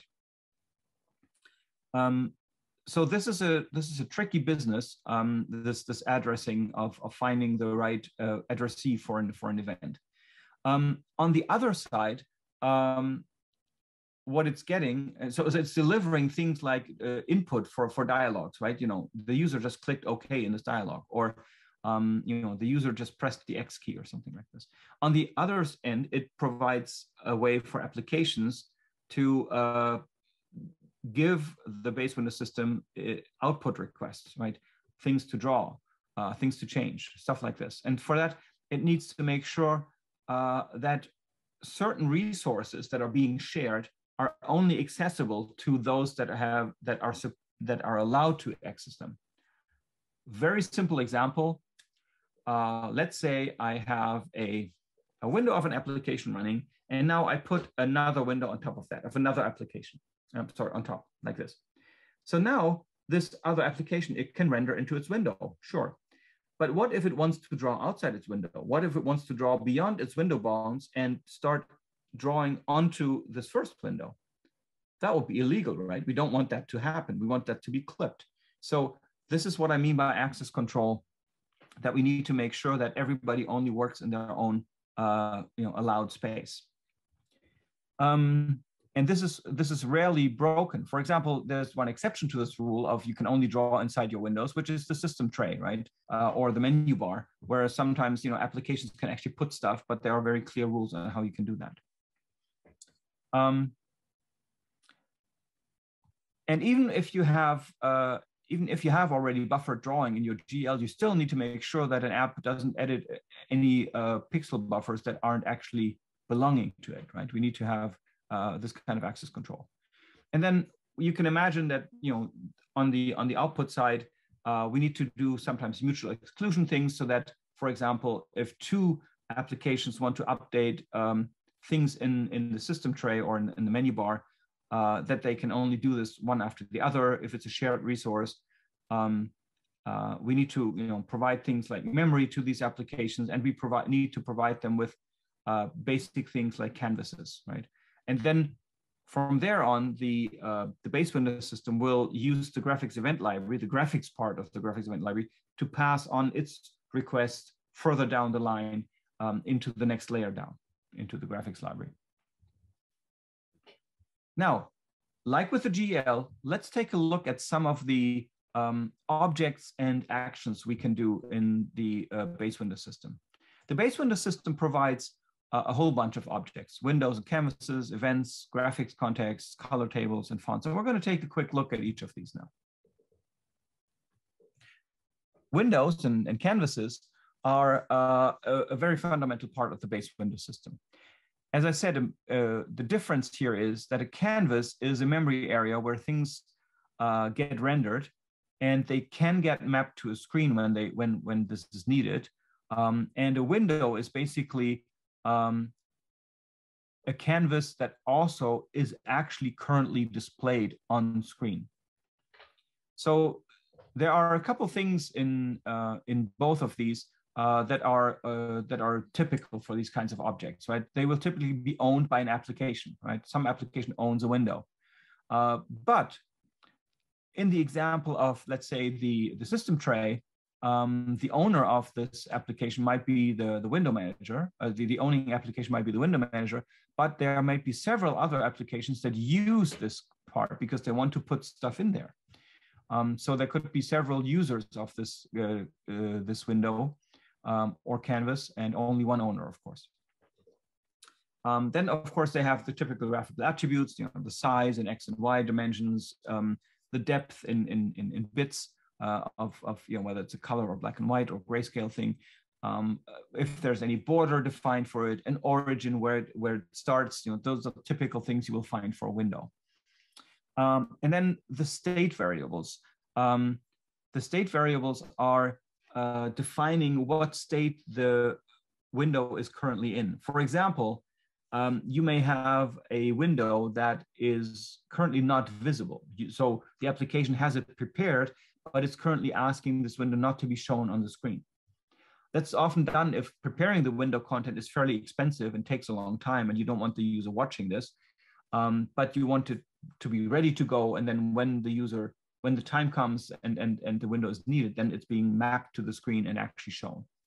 So that's typically controlled through a Boolean state variable that says, you know, it's visible or not. Similarly, windows can be um, valid or invalid.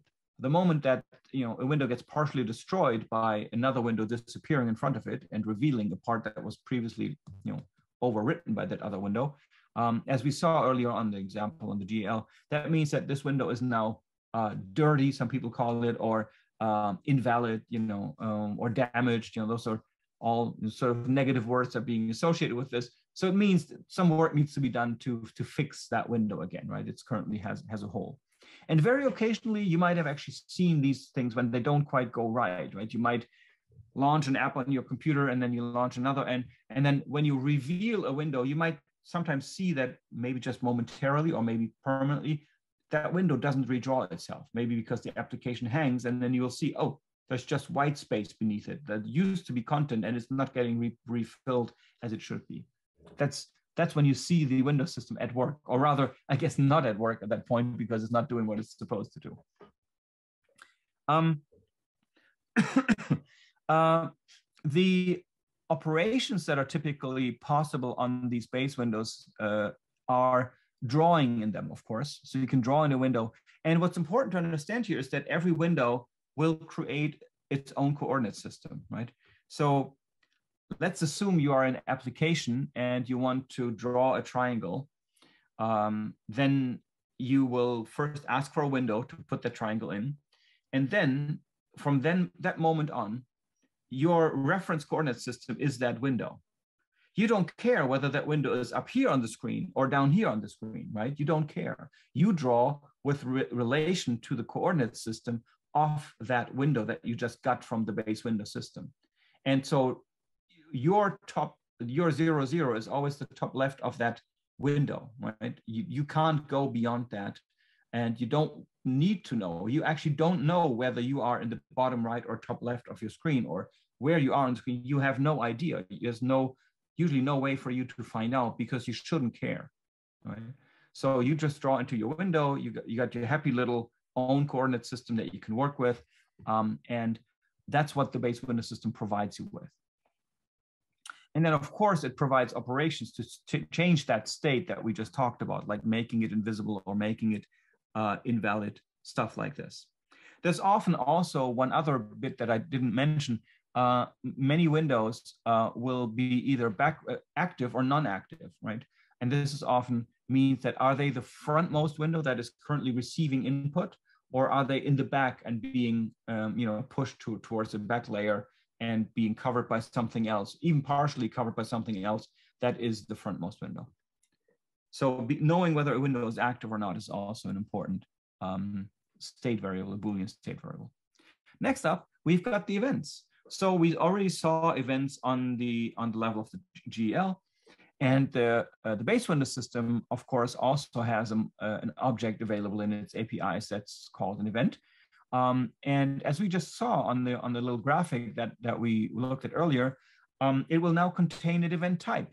Now, a mouse driver doesn't need to tell uh, in its driver that it's a mouse event because of, obviously it's a mouse event. The mouse driver doesn't create anything but mouse events. But now we actually have an event type that will tell me, oh, this is a mouse event, this is a keyboard event, this is a you know something else, a touchpad event. It'll have a timestamp. In this case, you know, system-wide, uh, standardized and, and, and synchronized. Uh, and will have data that's specific to the type. You know, a mouse event will have um, information about the mouse buttons being up and down, whereas a keyboard uh, event will have information about uh, one of uh, hundreds of keys being pressed or more. Um, then it oftentimes contains a location. And this is maybe weird, but oftentimes even other events that are not mouse events will still report the location of the mouse when that event happened. Uh, and that is to enable some things like hovering over a, um, a, a certain uh, window and then pressing a key. If I can then find out that this key press happened while the mouse was over that window, I can, for example, pipe that key press directly into that window. Some systems work that way. You can actually change focus of windows just by hovering over them. Maybe if you're a Unix user or a Linux user, you've seen that behavior and some, some window managers uh, even support this to this day. We'll show you some, some examples once we get to these systems. Um, an event will ultimately also have to be associated with a window. And that is part of the task that the window system does. It'll find out what window is supposed to receive this event. And through knowing which window was being hit with, an, for example, a mouse click, uh, we will also know uh, what application uh, that event is supposed to go to. Now, if I press a key uh, and I already have an active window, um, you know, let's say you are typing in, in your, you're typing on your keyboard and you've got an active Word document open, then the, the document window will have an area that is the typing area that is in, in the end sort of a base level window. Uh, and that area that you're typing a text in will currently be active and be, will be receiving input. So it will get that keyboard press, uh, even though the keyboard itself may, the, the keyboard event may not be associated in any way with that location. Right? In modern systems, you don't need to have your mouse hovering over that window to, to pipe input there. You just need to click it once, make it the active document window, and then that's where stuff goes, right?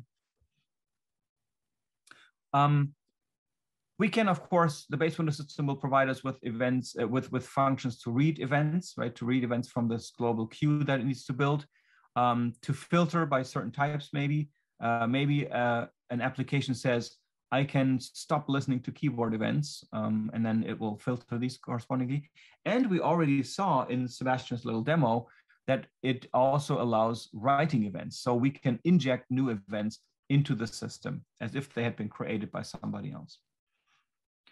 Now, um, this is the state that we were at, right? This is what the GL gave us, um, the canonicalized but still separate event queues and we're now gonna turn this into one queue and then distribute it again. So here's how we first merge these things.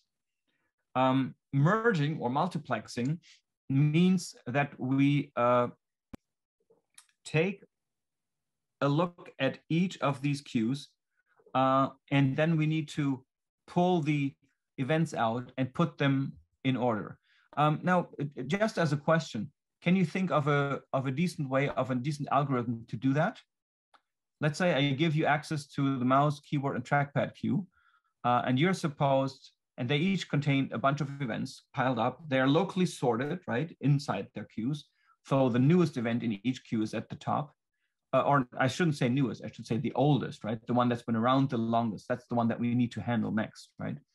Um, and you now have to put all these three queues and sort them into a single one. It's a it's a simple algorithm, really. Uh, what how would you do that? Great. So um, as you said, the events are ordered locally in each list.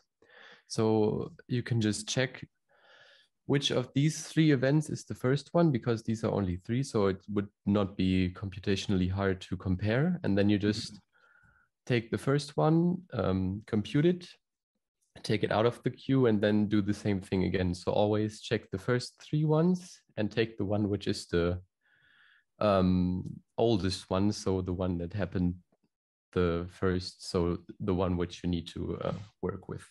Yep, absolutely. That's that's correct. Thank you. Um, so this is how we get to a single, you know, merged uh, list. That's it's it's a very simple procedure, but I just wanted you guys to to to realize this. And now we have one long list of events, right? Um, what we now need to do is we need to figure out where do these events belong, right? Because all we have is a mouse click, right, at position whatever, 100, comma 80. What does that mean?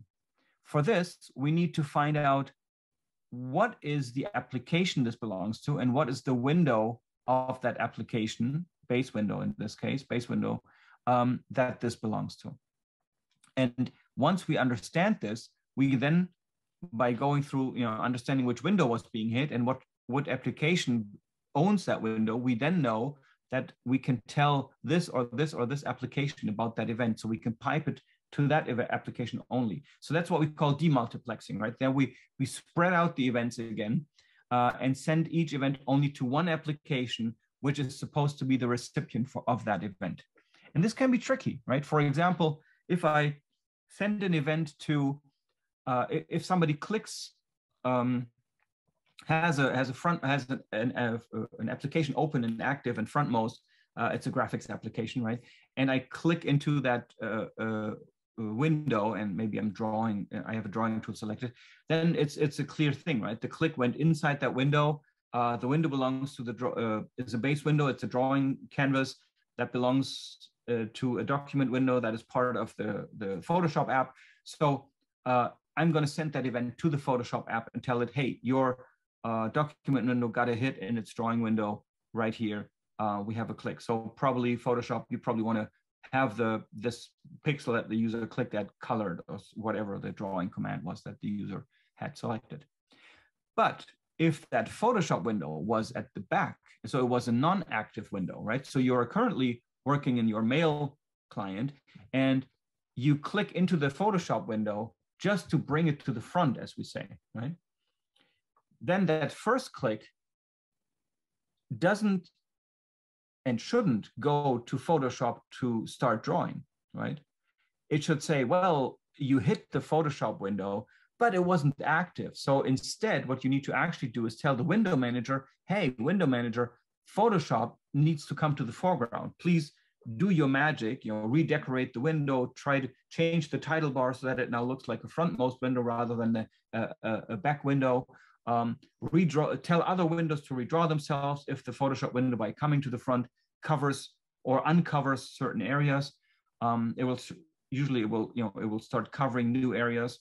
So we got lots of stuff going on, but um, Photoshop actually may not even hear about that, right? It, all it might hear is maybe you're now the frontmost window, and then there may be things that Photoshop wants to do, but you know, by by having the information, but it's not going to do the drawing command that it normally would do. So this is a tricky business, right? Um, and as we as we said earlier on, um, the base window system, for example, can also insert new events into this whole business, right? It can insert events itself uh, based on window states. For example, if we do what we just said, we bring, um, you know, the, the Photoshop window comes to the front, then one of the things that is probably going to need to happen is that, uh, you know, the Photoshop window was previously maybe half covered behind a, a different one, and now it comes to the front. So now this part here that got uncovered needs to be redrawn. So what needs to happen is that the base window system injects a new event into the queue that says, dear Photoshop window, please redraw this part of your interface. And this had, by the way, this concerns the following base windows that are overlapping this uh, dirty area that we need, now need to be redrawn and have redrawn, right? Um, it could even, uh, the base window system could even uh, implement certain input patterns. Like let's say you want your system to support a double click. Well, what's a double click? A double click is not a God-given thing, right? It's just two clicks happening in rapid sequence after each other. And some Windows systems even let you adjust what that distance between these two double clicks you know, needs to be for it to mean a double click rather than two single clicks. So the base window system could go in and could look at the event queue and say, I got a click. Let me see if another click comes in within a certain deadline. And if that is the case, then I will remove both single clicks from the queue and will replace them instead with a double click event that I will send on to the corresponding application. So, you know, on the Mac, it's the Finder. On, on Windows, it's, it's the Windows Explorer or whatever you call it. Um, and if a double click happens to be executed on, on, let's say, a file folder, then what that means is that it needs to be opened, right? Rather than just being selected. So these kinds of things will maybe require injecting events into the, into the stream. Um, next up, we have uh, you know, the other objects that are available in the base window system are graphics contexts. Graphics contexts are around just in the GL, but here's the difference. I said earlier on that um, the GL has one graphics context, right? It, it doesn't have more than that. It can only hold one graphics context. So the GL has one graphics context. It's one, if you like, you know, one, one notepad that it can fill in with what's my drawing color, what's my, you know, line width, what's my font, etc. But we said that the base window system is responsible for making every app feel like you know it owns the universe right? It's it has everything at its disposal. So that's why for example the uh, base window system will have many graphics contexts. Um, what that means is that for example let's say you have two applications you've got photoshop and you got you know word running and Photoshop now, and they're both rendering, right? They're both busy drawing stuff. Maybe Word is busy, you know, filling in a page of uh, text that you just scroll to, while Photoshop is busy, you know, loading a picture from disk and, and rendering this. So they're busy drawing stuff, and they're doing this quasi-parallel, right? Um, so what will happen is that Photoshop will say, I need to draw these uh, I need to draw these things and uh, maybe draw some text or something. Um, and it will have its own graphics context that says my text is currently red and um, using Helvetica, right? Um, and it will send these commands. It will have its own graphics context. And when it, it's its turn to draw a little bit, it will take that context and download it into the GL and replace the current context in the GL with its, its own context, right? So it will overwrite what the GL had previously and will say, this is now your setting. And then it will send its 100 graphic uh, drawing commands, all text, uh, that's all gets rendered in red and in Helvetica 12 point. Then, you know, Word gets a slice of time in the multiplexing nature that is, you know, modern multitasking and says, I got a bunch of things to draw. So GL, my graphics context currently says that we're drawing in black with, you know, uh, Times Roman in 14. And I have some text to output. So it will have its own graphics context with its own settings that will stick around. Uh, and it will download that into the GL. The other context from Photoshop gets replaced. And now the GL will render this, all the text that it gets from Word uh, with you know this different color and different font.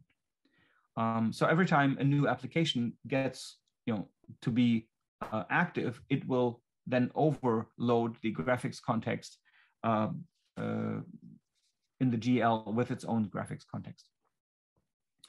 Uh, apart from that, the, the, attributes are, are similar to the ones that we've already seen, right? Could be text attributes um, like the skew or the color of text or direction that's rendered right, right to left or left to right, um, or whether the text is supposed to be copied onto the surface or whether it's supposed to be XORed in to create this you know, cool inversion uh, effect um, or whether it's supposed to be merged with the background pixels so that it, it adds to the pixels.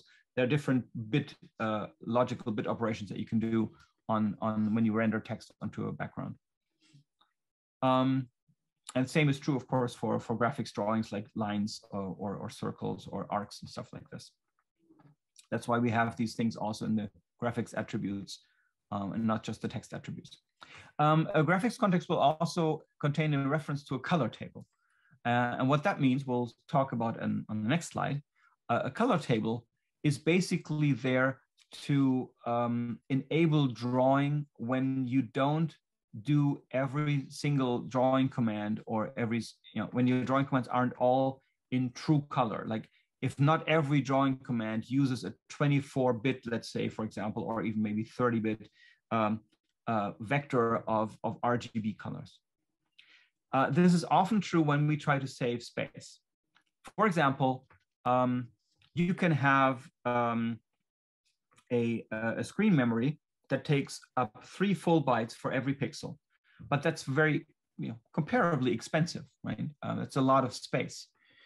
Um, I could say, hey, I'm just going to use one byte per pixel, but I'm still going to let you draw all kinds of colors into that screen. Um, how am I going to do that? Well, I'm going to tell you, you can set each byte of uh, each pixel to a byte value. So anything between one and 255 or zero and 255. So we got 256 different values. And each of these values is not going to be a color uh, definition, but it's actually going to be a pointer to a table. It's going to tell me it's an index into a table. And that table is going to contain the actual color value. So color zero might be black, color one might be a bright red, color two might be a, you know, a, a, a pink, color four might be you know, a, a dark green, whatever. Each of these colors in the color table is defined with full three bytes of, of color resolution, right?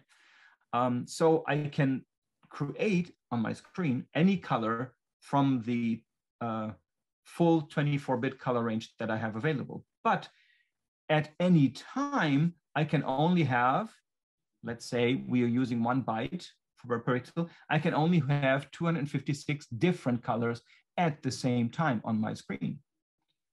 You know, a moment later, I can change my color table and it can show 256 other values on the screen. That's okay. But at any time in, in at the same moment, I can only show a limited number of colors. A lot of application developers probably say, well, that's good enough for me. I'm glad that I can pick any color I want, and but I'm fine. I don't need more than 256 at the same time, right?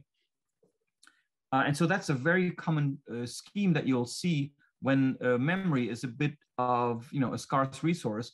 Then oftentimes images will have color tables. It's also a frequent thing that you see in, in storing images, right? Image, images that are stored in files, um, you know, GIF or whatever, uh, will often also use that trick of a color table. So they only need to have a color table once, and then you know all the pixels are just referencing that color table. And that's way, way uh, more memory uh, efficient than storing the full RGB value for every single pixel, because more than likely, you don't have that many different colors in your, in your image. Different story about, of course, when you get to JPEGs and photorealistic images, there you tend to have lots of different colors and color tables start to make a little bit less of, of a sense. But with diagrams or, or, or these kinds of icons, you know, color tables are a great way to save lots of memory. So a color table will have an owner. Many, many people can share the same color table as users. They will have data fields for every color entry. And I always talk about RGB because that's the one that we are all you know comfortable with and know and understand directly how it works. But there are other color models, right? There's the HSV model uh, for hue, saturation, and value. Um, and there are YIQ models. So there are lots of different way, ways to uh, describe color with, with certain numbers. Um, uh, you can see many of these if you go into a graphics application and switch to different color modes. Um, they will typically support these different color wheels and you can play with them.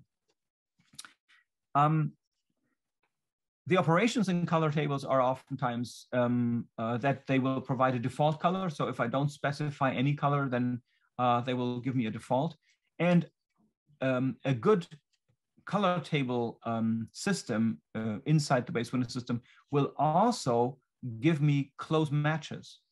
If I say, um, oh, I have a, a full color uh, data here in memory, and I now need to render this into this on-screen area, but the on-screen area is using a color table, then um, there should usually be an algorithm that um, that maps to the closest color in the table from a from an eight, you know, from a 24-bit value, for example. So this makes them a bit fault tolerant, right? They will say, I can I can live with it if you ask me for a color that isn't actually currently in the table, I can give you a close approximation if the color table is already full.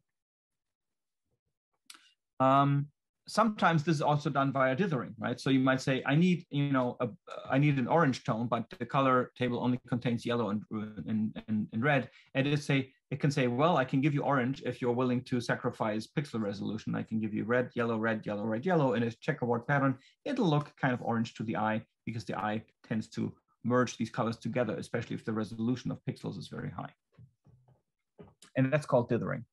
Um, another thing that's in the base window system is, for example, a fonts, right? Fonts uh, will reappear in the base window system with an owner and a user, uh, uh, the name of the font, certain measurements like the font size. Uh, what's the kerning? Kerning means the distance between uh, individual letters. It's not the same for every uh, letter pair. It differs based on how the letters are, um, are looking. We talked about this in DIS1 briefly.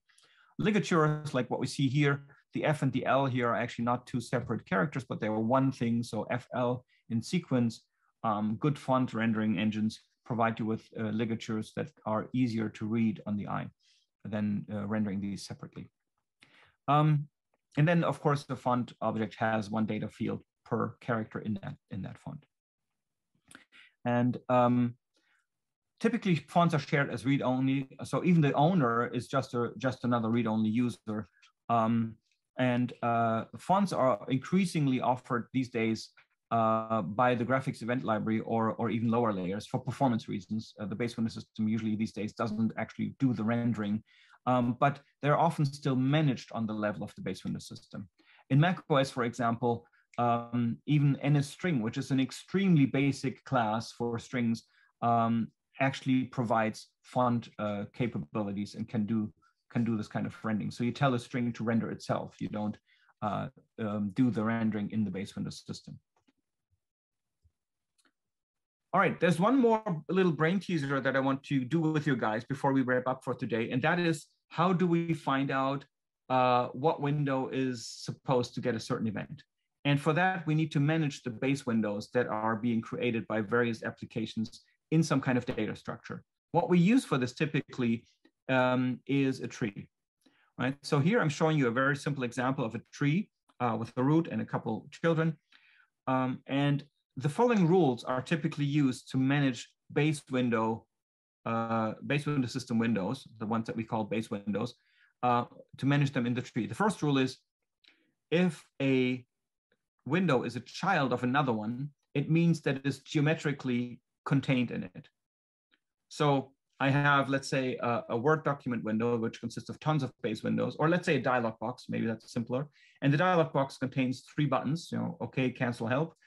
Uh, these three buttons will be children of that dialog box window uh, because they are geometrically contained in it and they belong to it. Uh, this ordering um, of children being contained, uh, uh, of, of children being contained inside their parent tremendously simplifies the routing of events and, and setting of visibility. If I want to, for example, remove a, um, a window uh, then I just need to make sure that I clear out the entire area of the dialog. I don't need to worry about any children of it hanging off and outside that, that window, right? Uh, because I know that the window covers the entire space that it, that, it, that it needs, including all its children. The other rule that you need to remember is that in a window system, we may have things overlapping each other, right? We may have, um, I'm going to use my professional windows here again. I might have one window here uh, and then there may be another window that's partly overlapping this, right? So I need to know which one is in front of which one, right? There's a, there's a Z ordering to windows. It's discrete, it's not continuous. I don't care how much the distance is here. I just need to know an order, right? Who comes first? And, and that's important because if I click now, and I click in the area where these two overlap, it needs to go to the brown window, not to the yellow one, obviously, right? Because that's in the front.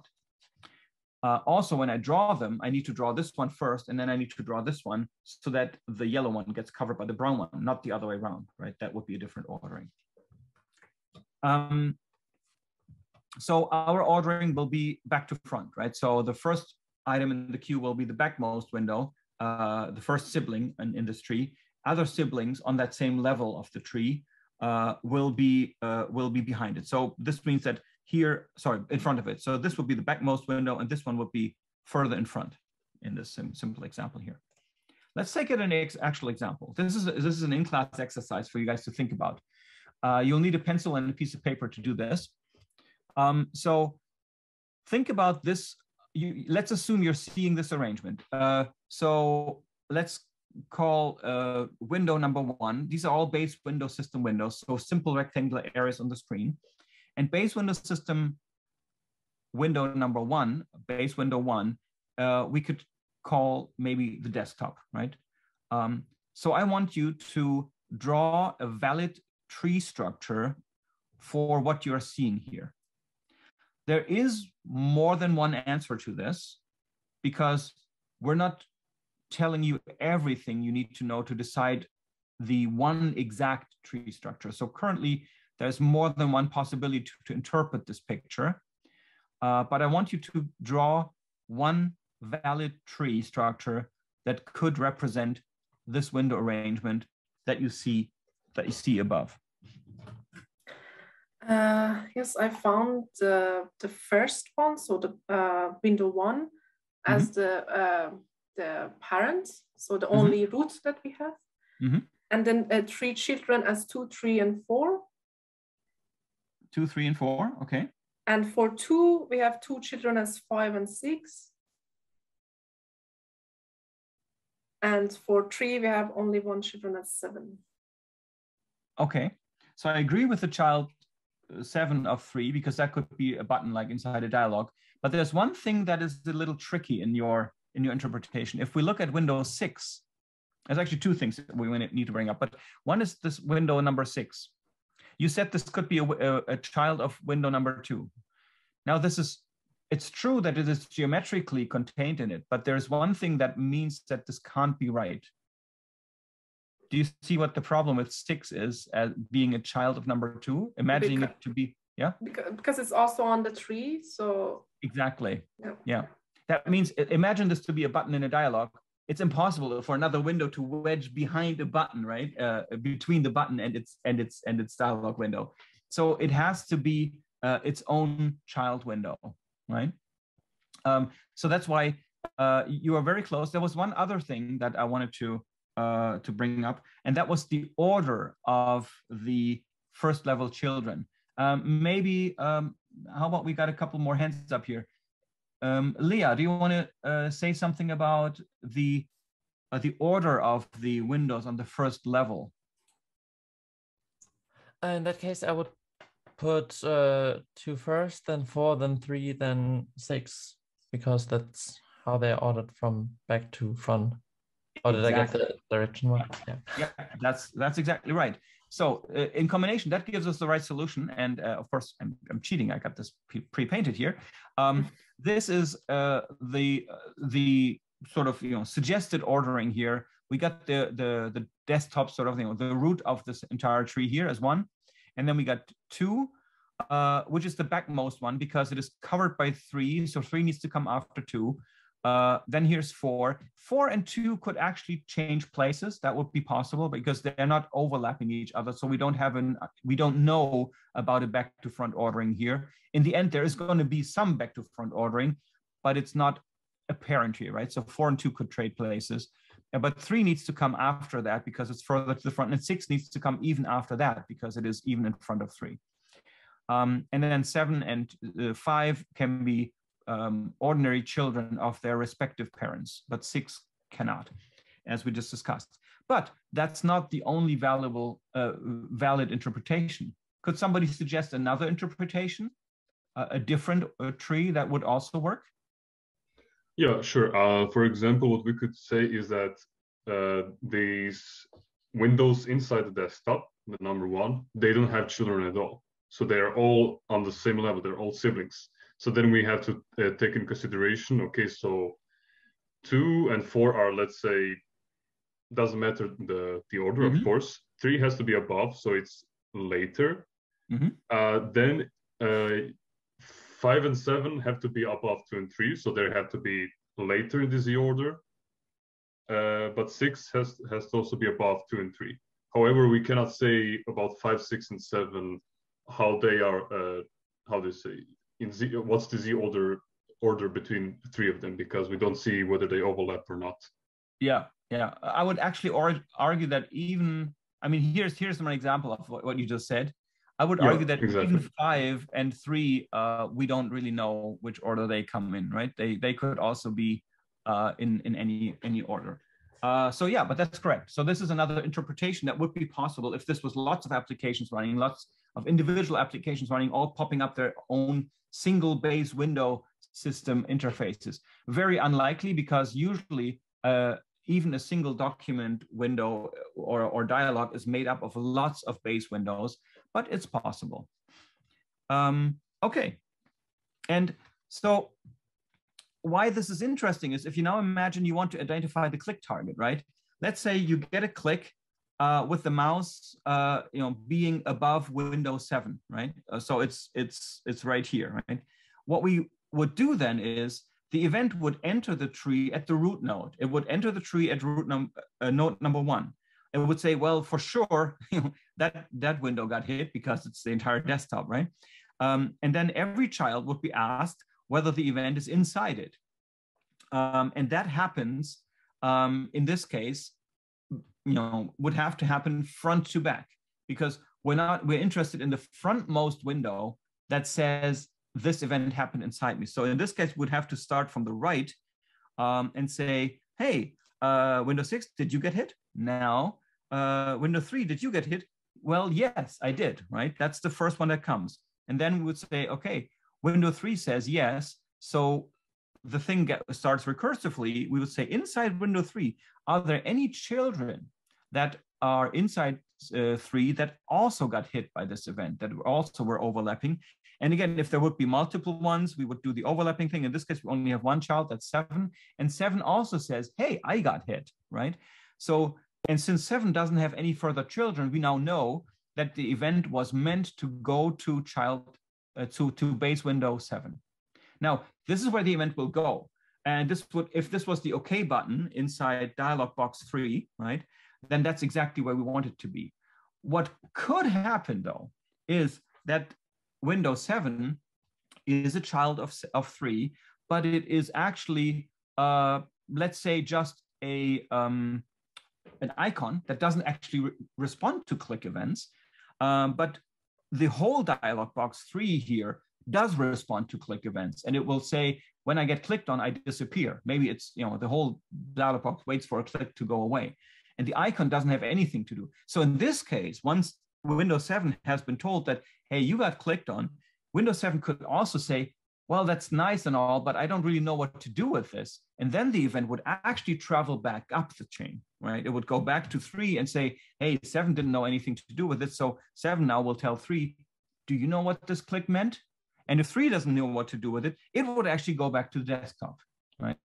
Uh, so that's a possibility. But maybe you know it was a right click, and no, nobody can do anything with it except the desktop because it's a system-wide function to, I don't know, pop up a context menu or whatever, right? Uh, and so the event is not lost in that child. It needs to travel back. We'll see a lot of this going up and down trees when we work with, with Windows system hierarchies. All right, just to wrap this up, uh, we got a couple shared resources in the base Windows system. Um, we share them, of course, because they're scarce or we need to collaborate on them.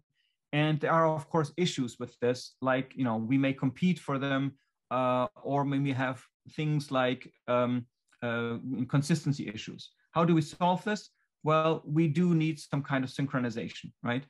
Uh, and the synchronization happens, and this is really stuff that you will probably know from your operating system uh, classes, like um, Betriebssysteme stuff.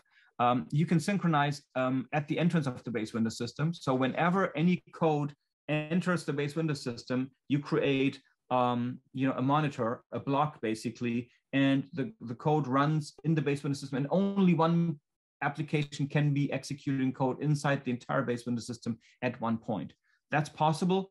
It's pretty expensive. It's pretty blocking, right? So stuff might quickly slow down if um, if lots of applications need to do stuff on the base Windows system level, and you're blocking everything only because I'm accessing this one resource. You're shutting down the all access to the base Windows system. Not very efficient. You can get finer grained synchronization by synchronizing on individual objects. So any code is allowed to enter the base Windows system and do stuff like call base Windows system functions. But the moment, for example, we access, let's say, an object, uh, we can make that object, like a, maybe it's a window uh, data structure or a color table data structure, we can make that object uh, uh, entrance controlled. We put a monitor, like you know, a, a flag basically at the beginning that says, am I currently in use? And, and when the first piece of code enters it, it flips that flag. And then while it's running, if other code comes in and wants to change that, uh, also use that code and that data structure, it can't because the object is currently busy, right? It's currently being occupied. Uh, so these are monitors uh, that you probably know from base Windows systems um, as, as, a, as a standard construct to manage um, concurrent access. Um, this, of course, if you do it on individual objects, is much more fine-grained. It's faster, but it introduces more complexity and overhead, so it can it can also be slower. Depends really on your on your use case and on your communication patterns. How do we put the base Windows system into the operating system? Well, we can put it all into one single address space. This is very simple to implement. It doesn't need any synchronization. Um, you don't have any concept of a process in this case, um, and you control uh, you hand control over collaboratively, meaning that uh, one application needs to explicitly give up the processor and call another application. The next one in line, there's sort of a round robin theme of apps passing control to each other. Early systems like macOS Classic or Xerox Star or even Windows uh, 3.x worked like this. The reason for that is, you know, this is the reason why these systems were really good at crashing phenomenally, right? Because one application hanging means that it's never going to do that call to let the next application have its share of the cake. And so one crashing application can bring the whole system down. Uh, we don't do things this way anymore. Um, uh, so we nowadays have uh, preliminary, you know, we have preliminary, multi, uh, sorry, uh, preemptive multitasking that just pushes applications off the processor. But another way to handle this is with kernel and address space splits.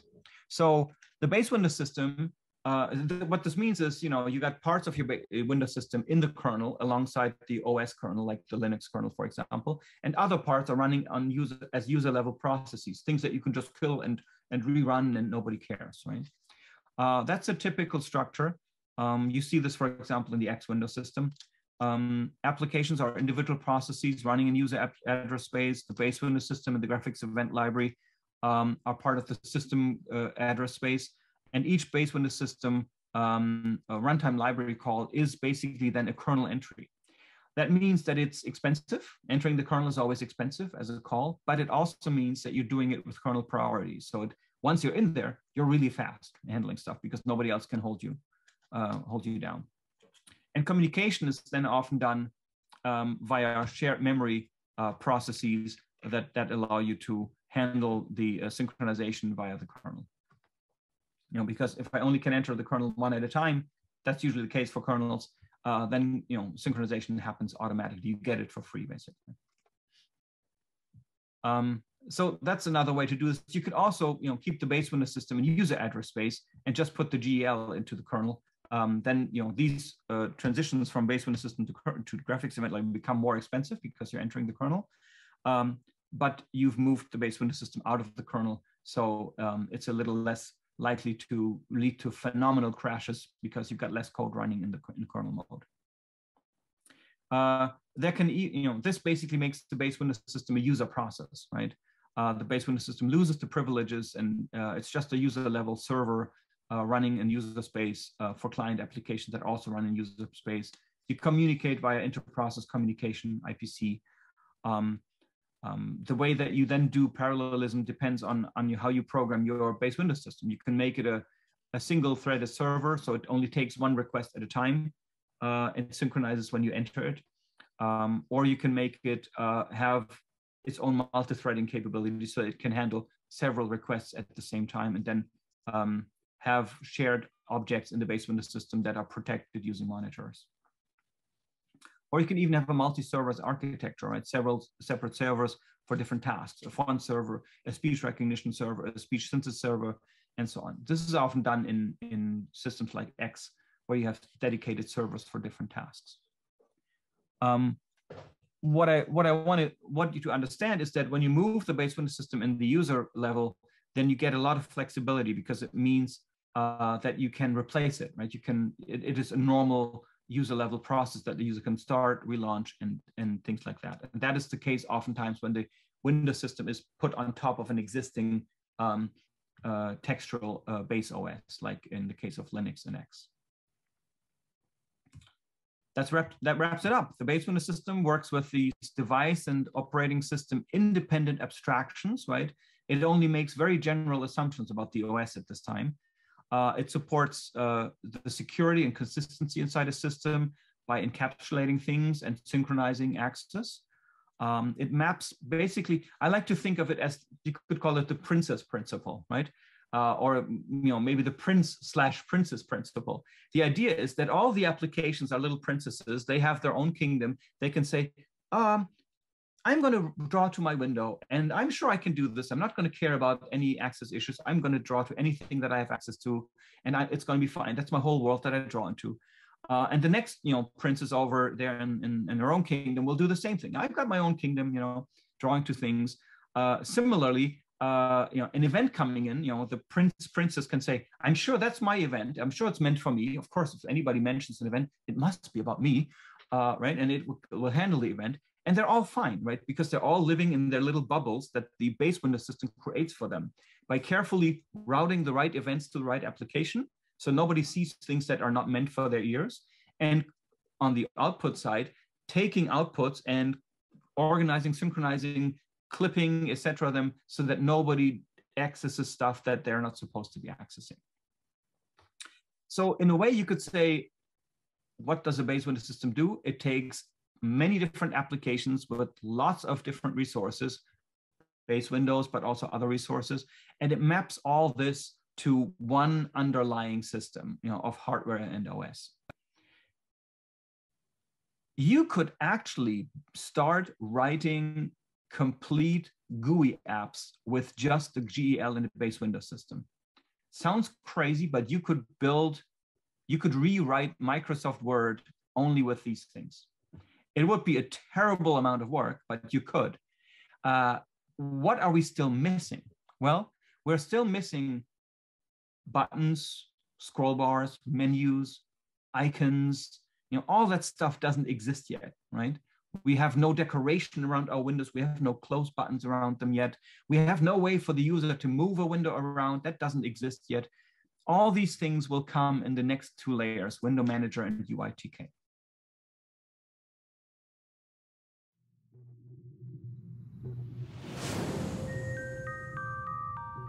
This content was provided by RWTH Aachen University.